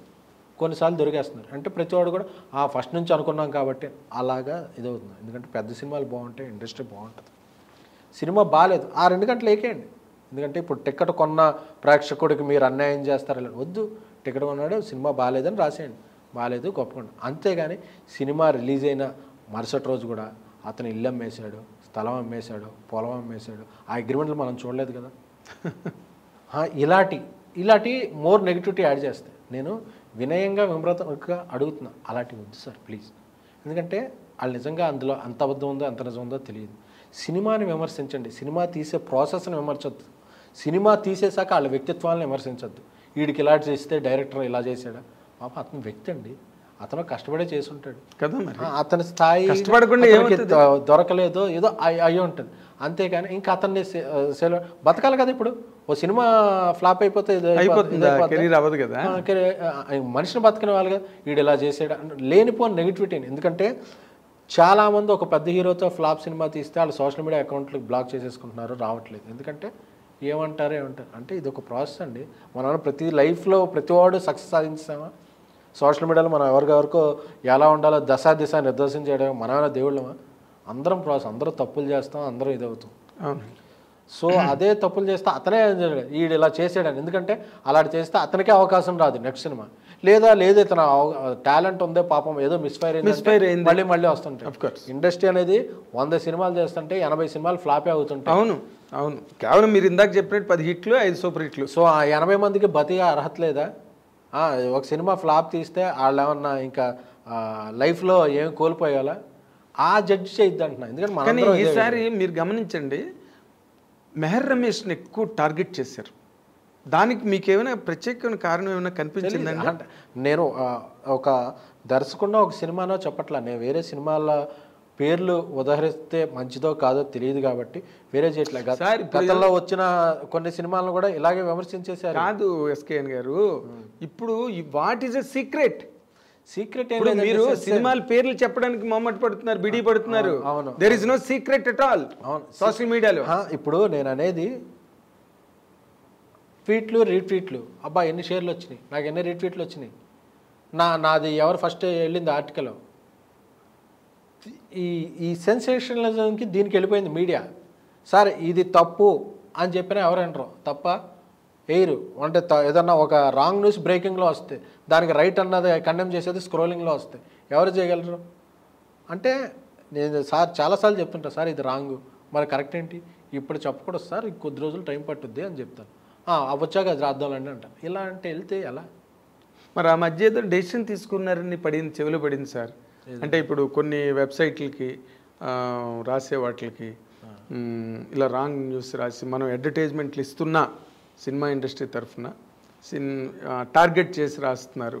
సో మనం అడ్వర్టైజ్మెంట్స్ క్యాన్సిల్ చేయడానికి నిర్ణయం తీసుకుంటున్నారు కౌన్సిల్. నేను అప్పటికే ప్రొడ్యూస్ కౌన్సిల్ ఒక ఇండస్ట్రీలో పెద్ద వ్యక్తి నాతో ఒకసారి అన్నారు. నేను ప్రొడ్యూసింగ్ కౌన్సిల్. నేను అనేది అది కూడా అధికారం ఎవరి మీద చూపించొద్దు. ఎవరిని క్యాన్సిల్ చేసేయండి అనేది ఇప్పుడు మీరు బలప్రయోగంతో ఏదో అవ్వదు సార్. నువ్వు రాయొద్దు అంటే అతను వేరే రకంగానే రాస్తాడు. ఎవరిని తప్పు పట్టద్దు అప్పీల్ చేయండి. సార్ ఇలా ఉంది. ఇలా ఉందాం ఇలా బతుకుదాం అని అప్పీల్ చేయండి తప్ప నువ్వు ఇంటర్వ్యూకి రావద్దు నువ్వు రివ్యూ రాయొద్దు నువ్వు రైటే రాయాలి అనే అధికారం కూడా మనకు ఎవరికి లేదండి. ఎవరి స్వేచ్ఛ ఆడది. So live and let live అనే దీంట్లో వెళ్ళాలి తప్ప బలప్రయోగం వద్దు. నీకు అతనికి యాడ్ అవ్వకపోతే నీకేం వస్తుంది? అతను నీకు బాగున్న సినిమాకి అతను ప్రమోషన్ చేశాడుగా నీ హిట్ సినిమాకి అతను ఎంతో కన్నా మా రాశాడుగా. రాశాడు. అంటే నువ్వు ఒకరిని విమర్శించేటప్పుడు వాళ్ళ దగ్గర నుంచి వచ్చిన బెనిఫిట్స్ కూడా తీసుకోండి. అతను రాయడం వల్ల నీది ఒక అతను బ్రేకింగ్ న్యూస్ అని వంద మంది వంద సైట్లు కాపీ చేసేసుకున్నారుగా. మనకు ఒక మంచి సినిమా మంచి రివ్యూ రాసుంటారు. మనకి ఏమీ తెలియని న్యూస్ని ప్రమోట్ చేసుంటారు. ఆ న్యూస్ వంద మంది కాపీ చేసి అందుకే బలప్రయోగం వద్దు ఎవరిని. సార్ రిక్వెస్ట్ చేయండి. ఇది ఇది అందరూ కూర్చొని మాట్లాడుకోండి. మనం ఎవరో మనం గదిలో మాట్లాడేసుకుని వాళ్ళ మీద చర్యలు తీసుకుంటాం. ఇది వద్దు. వాళ్ళే రమ్మనండి. సార్ మాకు ఇలా ఉంది. మీరు ఇలా చేయండి. ఇలా చేస్తే బాగుంటుంది. వాళ్ళు వాళ్ళ సైడ్ ఓపెన్ అవుతారు. ఎక్కడో ఒకడో కామన్ పాయింట్కి రావాలి. ఇది ఒకళ్ళ సైడ్ నుంచి తీసుకునే డెసిషన్ కాదు. అందరం కూర్చొని మాట్లాడు మొన్న మీరు గమనించారో లేదు? ఇది అనిల్ శంకర్ గారి మీద ఆస్తులు పోయాయి అమెరికా వెళ్ళిపోయాడు. చిరంజీవి గారు చిరంజీవి హాస్పిటల్లో నిర్మాత అమెరికాలో అని ఒక బ్లడ్ రెడ్ హెడ్డింగ్లు గట్ట వచ్చి వస్తే మళ్ళీ అనిల్ శంకర్ గారు ఆయన మళ్ళీ ట్విట్టర్లో we are happy we are we are together for ever నేను చిరంజీవి గారు అని చెప్పి ఆయన మళ్ళీ ట్వీట్ చేశాడు. అనిల్ శంకర్ గారు. ఈ కన్ఫ్యూజన్ లేకపోతే ఈ టర్మాయిల్ అన్నది చాలా దారుణంగా ఫేస్ చేసిన సినిమా ఈ మధ్య రోజుల్లో ఏదైనా ఉంటే బోళశంకర్ దానికి మరి మీరు చిరంజీవి గారి ఇంత wide fan base world wide అసలు ప్రపంచవ్యాప్తంగా ఆయనకి అభిమానులు మీ ఫ్యాన్స్ బేసు అంత దీని మీద ఏమి మీరు you are unable to do anything అండి? చెప్పానండి అది ఫస్ట్ ఫ్యాన్స్ సంఘటితంగా ఉంటే అంటే ఒక పది మంది ఏదో రాస్తారు. రాసినప్పుడు మనం దాంట్లో నేను చెప్పింది అందుకే కో ఫ్యాన్గానే అప్పీల్ చేశాను ఫస్ట్ సినిమా వచ్చిన మూడు రోజులు సినిమా మీద కాన్సన్ట్రేట్ చేస్తాం. దాన్ని బతికించుకుందాం దాన్ని తర్వాత నాలుగు రోజులు సినిమా మాట్లాడు. సో మనం దాన్ని ఎక్కించుకోవద్దు ఫస్ట్ ఫ్యాన్స్ స్ట్రెంగ్త్గా ఉంటే ఇలాంటివి రావు. సో ఆ స్ట్రెంగ్త్ ఉండాలి మన అందరం చెప్పి నేను చెప్పాను ఒక అప్పీల్ చేశాను ఓకే. ఎందుకంటే అది ఇటు- ఇటువైపు నుంచి కూడా ఉండాలి. వాళ్ళెవరో రాశారు అది నిజమేనా? లేకపోతే ఇదే కాదు. అప్పటికే చాలామంది ఫ్యాన్స్ చాలా ఫైట్ చేశారు. బట్ సినిమా గురించి దీని గురించి కూడా. సో మనం అనేది స్ట్రాంగ్గా ఉంటే అలాంటి రావన్న వచ్చినా దాని ఇంపాక్ట్ తగ్గుద్దని. రావని మనం చెప్పలేం. వస్తాయి వచ్చినప్పుడు మనం స్ట్రాంగ్గా ఉంటే దాని ఇంపాక్ట్ తగ్గుద్ది. ఇదే ఏదో రామాయణంలో పిడకల వేటని మనం అసలు ఎక్కడ మొదలయ్యామంటే ఇప్పుడు సోషల్ మీడియాలో చిరంజీవి గారిని అన్నయ్య మీరు ఇలాంటి సినిమాలు చేయాలన్నయ్య మీరు అలాంటి సినిమాలు చేయాలన్నయ్య అసలు మీరు ఎలా చేస్తే బాగుంటుంది అన్నయ్య అని చెప్పి ఓ విపరీతంగా సలహాలు సంప్రదింపులు ఎవరికి మా వాళ్ళు కుమ్మరించేస్తున్నారు మీడియాలో. ఇప్పుడు మీరేమో సోషల్ మీడియాలో మీకు ఒక పేజీ మీకు ఒక లేదండి నా ఇన్స్టాగ్రామ్ నా ట్విట్టర్. ఏదో మీ గురించి ఎక్కువ మాట్లాడుకుంటారు సోషల్ మీడియాలో. You are more in circulation మీకు రేంజ్ ఒక ఇమేజ్ మీ మాటలకి తేనె తేనె చుక్కలు పూల రెక్కలు ఇలాంటి మాటలు అవన్నీ మరుపురాని మాటలన్నీ ఫ్యాన్సే మెగా ఫ్యాన్స్ ప్రభాస్ గారి ఫ్యాన్స్ రవితేజ్ గారి ఫ్యాన్స్. అదే. నేను పనిచేసిన హీరోలు వాళ్ళ ఫ్యాన్స్ అంతా నాకు కనెక్ట్ అవుతుంటారు. కనెక్ట్ అవుతారు. ఎందుకంటే నేను వాళ్ళ సినిమాలకు పనిచేసినప్పుడు చాలా జెన్యున్ వాళ్ళతో ఒక ఈ సినిమా జరుగుతుంది ఈ అప్డేట్ వాళ్ళతో ఏకమైపోతుంటా. సో అందుకని వాళ్ళు అలా నిలబడి ఇప్పుడు నేను ప్రొడ్యూసర్గా ఉన్నా ఇప్పుడు పవర్ స్టార్ రీ రిలీజ్ ఉన్నాయి. అవి ఉందంటే పార్టీకి వెళ్ళిపోద్దంటే నేను వెళ్ళి చేస్తుంటాను.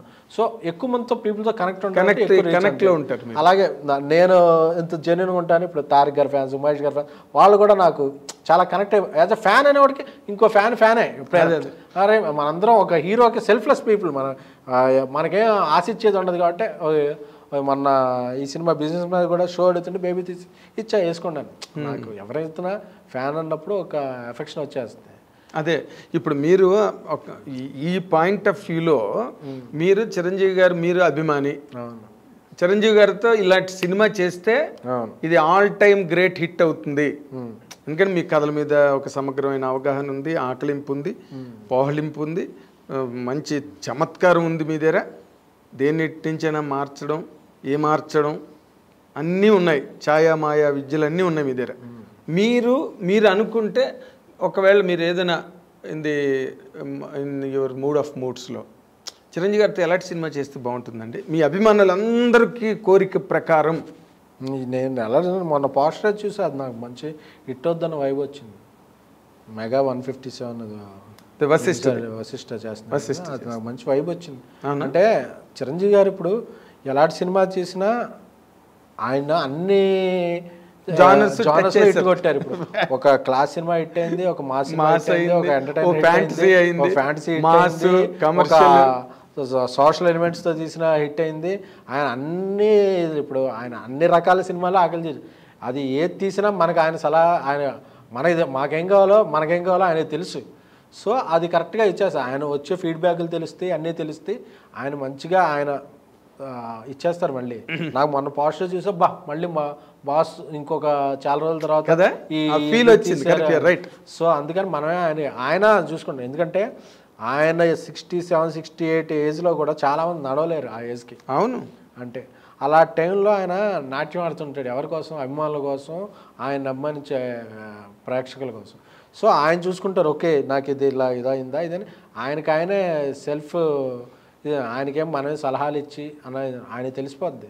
అందుకే ఎందుకు బర్త్డే రోజుకే ఒక పోస్టర్ వచ్చింది అది ఒక వైబ్ వచ్చింది సో బట్ మీరు గమనించట్లేదు అంటే మరి ఆయన సోషల్ మీడియా రియాక్షన్స్ అవనండి ఏమేమనండి రీమేక్ని పక్కన పెట్టారుగా? అవును. రీమేక్ని. నాకు రీమేక్ అదే కాదు తీసేది ఏదైనా స్ట్రాంగ్ తీసే గబ్బర్ సింగ్ రీమేక్ కదా. ఫ్యాన్స్ అందరు ఆకలి తీర్చేయలేదా? మరి బాలశంకర్కి ఏం జరిగిందంటారు మీరు? నాకు అది తెలియదు నాకు అంటే ఏం. అంటే ఒక ఒకటే అనవచ్చు కర్ణుడి చౌకి ఆరు కారణాలు ఎన్నో ఆరు కారణాలు. అలాగా ఒక సినిమా సక్సెస్కి ఎన్నో కారణాలు ఉంటాయి ఒక సినిమా ఫెయిల్యూర్కి ఎన్నో కారణాలు ఉంటాయి సో సక్సెస్ వచ్చింది కాబట్టి స్ట్రైట్ సినిమా కరెక్ట్ అని ఫెయిల్యూర్ వచ్చింది కాబట్టి రీమేక్ కరెక్ట్ అని కరెక్ట్ కాదు అలా అక్కడ సినిమాని బట్టి అంటే ఇప్పుడు అది ఇప్పుడు ఫ్యాన్స్ ఎక్కువ చెప్పేది ఏంటంటే ఎక్కువ చూస్తున్న సినిమా వచ్చేస్తే ఇప్పుడు ఒక వ్యాలిడ్ రీజన్ ఏంటంటే మనం ఫ్యాన్స్ తీరు నుంచి కూడా తీసుకోవాల్సింది. ఇప్పుడు కొన్ని రీమేక్స్ చేస్తుంటే కొన్ని ఎక్కువ చూసేసే సినిమాలు అయితే ఎక్కువ ఆన్లైన్లో అది అందుబాటులో ఉండి తెలిసిపోతుంది. ఎగ్జైటింగ్ ఫ్యాక్టర్ మిస్ అవుతుంది అనేది ఇది. కొన్ని రీమేక్స్ ఉంటాయి. అది రీమేక్ అన్నట్టు కథ తీసుకొని సోల్ తీసుకొని దాంట్లో కొత్త సీన్లు పడితే కొత్త అలా ఉన్నప్పుడు ఫ్యాన్స్ కూడా ఎగ్జైట్మెంట్ సో ఆ ప్యాకేజింగ్లో ఎగ్జైట్మెంట్ ఉందనుకోండి ఫ్యాన్స్ అనే వాళ్ళకి ఎవరికి ఏది ఉండదు. ఆ ప్యాకేజింగ్లో ఎగ్జైట్మెంట్ మిస్ అయింది అనుకోండి ఆ ఇది ఇది అవుతుంది అంతే. ఓకే. అది మెయిన్ రీజన్. ఓకే. అయితే మీరు coming back to the point మీరు ఇందాకలో మాట అన్నారు మధ్యలో. మీ మాటల్లోంచి నేను మాటలు తీసుకుంటున్నా మీ ఇంటర్వ్యూలో. ఏంటంటే ఎంత మిగిలింది ఎంత ఖర్చు పెట్టాము ఆ, ఎంత వచ్చింది కంబ్యాక్ డ్రా ఎంత వచ్చింది అనే ఈ లెక్కలు కూడా చాలా జరిగినాయి. అదే బేబీ అసలు వంద కోట్ల క్లబ్కి వెళ్తుంది కదా. అసలు మీరు బాగా హై ప్రాఫిట్ మార్జిన్లోకి వెళ్ళారండి. అంటే హై ప్రాఫిట్ అంటే ఆ ఈ రేంజ్ సినిమాలో ఇది ఒక పెద్ద హై ప్రాఫిట్. బట్ నాకంటే అది నాకే వచ్చేది. We have partners course but ఒక మంచి ఇప్పుడు ప్రాఫిట్ ప్రొడ్యూసర్ అన్నది యూనిట్ వన్ యూనిట్. దాంట్లో one two three four five ఎంతమందినే ఉంటారు very very very much profitable అని ఈ రేంజ్ సినిమాలో బిగ్గెస్ట్ హిట్ ఈ మధ్య కాలంలో ఈ సీజన్ నాకు తెలిసి ఈ ఈ ఇయర్ అనుకోవచ్చు ఈ డికేట్ అనుకోవచ్చు వాట్ ఎవర్ క్లైమేట్ అంటే వాటన్నిటికన్నా మంచి ఎగ్జాంపుల్ ఒకటి ఉంది. అంటే ఐటీ వాళ్ళకి దొరికిపోయినంత హిట్ అండి. ఏదండి? ఐటీ వాళ్ళకి దొరికిపోయిన అన్నీ ఇప్పుడు ఉన్న బెస్ట్ ఎగ్జాంపుల్ ఏంటంటే there is no black money in the transactions everything is everything is white చేసింది ఆ నెల ఇరవై తారీఖులోపు జిఎస్టీ కట్టేయాలి ఆ నెల ఏడో తారీఖులోపు టీడీఎస్లు కట్టేయాలి. So everything under scrutiny so every white transaction కాబట్టి ఇప్పుడు ఓటీటీ అన్ని వైట్ డీల్సే కదా check online transaction so PAN number మనది ఎప్పుడు ఎంటర్ అయిపోయిందో అప్పుడు అందరికీ తెలిసిపోద్ది. సో అనేది ఇది ఐటీ వాళ్ళకి కాదు ఎవరికైనా సరే తెలిసి ఇప్పుడు బ్లాక్ ట్రాన్సాక్షన్ అనేది లేదా ఇండస్ట్రీలో? సిక్స్టీ ఫార్టీ అని ఏదో అనేవారు పూర్వం. అసలు ఇప్పుడు ఇప్పుడు అంత ట్రాన్సాక్షన్. అంటే ప్రొడ్యూసర్ ఎక్కడి నుంచి తీసుకొచ్చిస్తాడు? ఇప్పుడు ఎక్కడి నుంచి ఉన్న వస్తే ఒక తీసుకుని వస్తాడు. ఇప్పుడు అన్ని చెక్కు ఆన్లైన్ ట్రాన్సాక్షన్లు జరుగుతున్నప్పుడు ఎక్కడి నుంచి తీసుకొస్తాడు? తీసి అతను ఇంకా ప్రింట్ వేసి ఇవ్వాలి. అవి ఎలాగో చెల్లం. సో అందుకని చెప్పి everything is white transaction so అందుకే ఇప్పుడు ఇండస్ట్రీలో ఐటీ జరిగిన వెంటనే అది చూసుకుని వెళ్ళిపోతారు తప్ప పెద్ద ఇది ఉండదు. పైగా ఇండస్ట్రీలో కూడా ఇంత హిట్ అంత హిట్ అని మనం మాట్లాడుకుంటాకే ఆ దాంట్లో producer thirty five percent thirty percent ఉంది ఎందుకంటే multiplex rentals are very huge. Hi కదా. ఫస్ట్ వీక్లో ఫస్ట్ వీక్లో ఫిఫ్టీ సెకండ్ వీక్లో fifty five third week sixty fourth week sixty five అలాగా వెళ్ళిపోతుంటాయి. సో వాటి నుంచి మళ్ళీ జిఎస్టీలు టీడీఎస్లు ఎంటర్టైన్మెంట్ ట్యాక్స్ ఇవన్నీ పోయిగా ఓ చిన్న కాంపోనెంట్ వస్తే మనకు పెద్ద పెడితే ఇక్కడ వచ్చే నెంబర్ ఇలా ఉంటుంది. ఐటీ వాళ్ళకి కూడా ఇవన్నీ తెలుసు. తెలుసు. అవును అవన్నీ వీటిలోనే వార్తలు అందుకే అవేర్ అదేలేండి అదే సో అందుకనే ఇండస్ట్రీ మీద అంతా క్లారిటీ ఉంటుంది. అంటే ఇప్పటికీ ఆ సింగిల్ స్క్రీన్ థియేటర్స్కి అంత పెద్ద ఫిఫ్టీన్ పర్సెంట్ ఎంతో ఉన్నది సింగిల్ స్క్రీన్ కూడా లేదు అలా కాదు. ఇప్పుడు కూడా రెంట్లార్ షేరింగ్ బేస్ మీదే వెళ్తున్నాయి మంది. అంటే వచ్చిన దాంట్లో వాళ్ళు పర్సంటేజ్ తీసుకుంటారు లేదా రెంటల్ అంటే ఏది బెటర్ అలా దీని మీద వెళ్తున్నాయి తప్ప. So rentals became very high high high ఇంతవరకు ఉన్నట్టు కాదు. ఎందుకంటే వాళ్ళు కూడా రియల్ ఎస్టేట్ అనేది వెరీ కాస్ట్లీ అఫేర్ అయిపోయింది. సినిమా థియేటర్ అంటే ఊళ్ళో ఉండాలి. అది ఒక గోడౌనో ఒక కళ్యాణ మండపమో ఒక షాపింగ్ కాంప్లెక్స్ చేస్తే they will get more money but వాళ్ళు ప్యాషనెట్గా ఎందుకు సినిమాలు ఇది చేస్తున్నారంటే ఆ రెంటల్స్ పెట్టకపోతే వాళ్ళకి వర్కౌట్ అవట్లా. సో ఇదేమి చేయలేని థింగ్ అందుకే కొంతమంది మల్టీప్లెక్స్లు ఏంటంటే మేము పాప్కార్న్ ఇది పెంచేసామని చెప్తారు. అదే నాకు అర్థం కాదు ఏంటంటే సినిమా తీసేది ప్రొడ్యూసర్ డైరెక్టర్ సినిమా ఇండస్ట్రీకి ఆ పాప్కార్న్ సేల్ ఏం సంబంధం ఉండదు. ఆ పాప్కార్న్ సేల్ చూసి కొంతమంది మల్టీప్లెక్స్ రావడం భయపడతారు. సో ఇవన్నీ చాలా పెద్ద టాపిక్స్ పెద్ద డిబేట్స్ నాకన్నా పెద్ద సక్సెస్లు తీసిన వాళ్ళు పెద్ద వ్యక్తులు మాట్లాడాలి. అవునండి అవును. ఇప్పుడు మీకు నార్మల్గా బేబీ ఎన్ని థియేటర్లు అంత దానికి ఏమైనా రికార్డ్స్ గట్టా అన్ని క్రియేట్ అయ్యండి? అలానే కదా. అన్ని సినిమాల్లాగే ఫైవ్ హండ్రెడ్ థియేటర్స్ అలా రిలీజ్ అయింది. ఓకే. సో ఆ అప్పటికే ఈ సినిమా లేదు కాబట్టి నాకు థియేటర్స్ ప్రాబ్లం కూడా ఏం రాలేదు. సో రెండు చెప్పలేదు మీరు ఇప్పుడు. దాంతోనే మనం క్లోజ్ చేస్తున్నాం. మళ్ళీ మీ ఇంటర్వ్యూ మేము చేసినప్పుడైనా దానికి సమాధానం చెప్పాలని అనుకుంటున్నాం. అదేంటంటే నెక్స్ట్ మీరు ఏ జానర్లో చేస్తారో సరిగ్గా చెప్పలే. Next youth యూతే complete complete love and youth love and youth and on commercial film okay అలాగే నెక్స్ట్ ఒకవేళ డేట్లు కనుక వస్తే చిరంజీవి గారితో ఎటువంటి సినిమా చేస్తారనేది ఫస్ట్ టైం మా స్టూడియోలోనే చెప్పండి. ఇందాకే ఒక అరగంట క్రితం మీకు చిరంజీవి గారి దగ్గర నుంచి ఫోన్ వచ్చింది. బాస్ ఫ్యాన్స్ అందరూ కూడా ఆ ఫస్ట్ లుక్ పడగానే ఈ సినిమా మన సినిమా కొడుతున్నాం అని నేను ఆ రోజు కొట్టే కల్ట్ బొమ్మ తీస్తున్నా అలాగా ఎగ్జైట్ అయ్యాను. ఫ్యాన్స్ అందరూ ఫస్ట్ లుక్కి ఎగ్జైట్ అయ్యే సినిమా తీస్తాను ఫ్యాంటాస్టిక్ ఫ్యాంటాస్టిక్ ఇది to the much delight of all fan base of the megastar Chiranjeevi all across the world. And మీరు అనుకుంటే చేయగలరు చేసే సమగ్రత దక్షత అన్నీ మీలో ఉన్నాయి. కాబట్టి మీరు ఇంకా ఇంతకన్నా కూడా పెద్ద పెద్ద హిట్లు తీసి ఎక్కడో మీ ఊర్లో బయలుదేరినప్పుడు చిరంజీవి గారి దగ్గరికి వెళ్ళిపోతాను. అన్న చిరంజీవి గారి దగ్గరికి వెళ్ళిపోయే మీరు సినిమా త్వరలో తీయాలని ఐ డ్రీమ్ కోరుకుంటుంది. అండ్ ఈలోగా మీ ట్రావెల్లో I wish you many more milestones and landmarks in your life.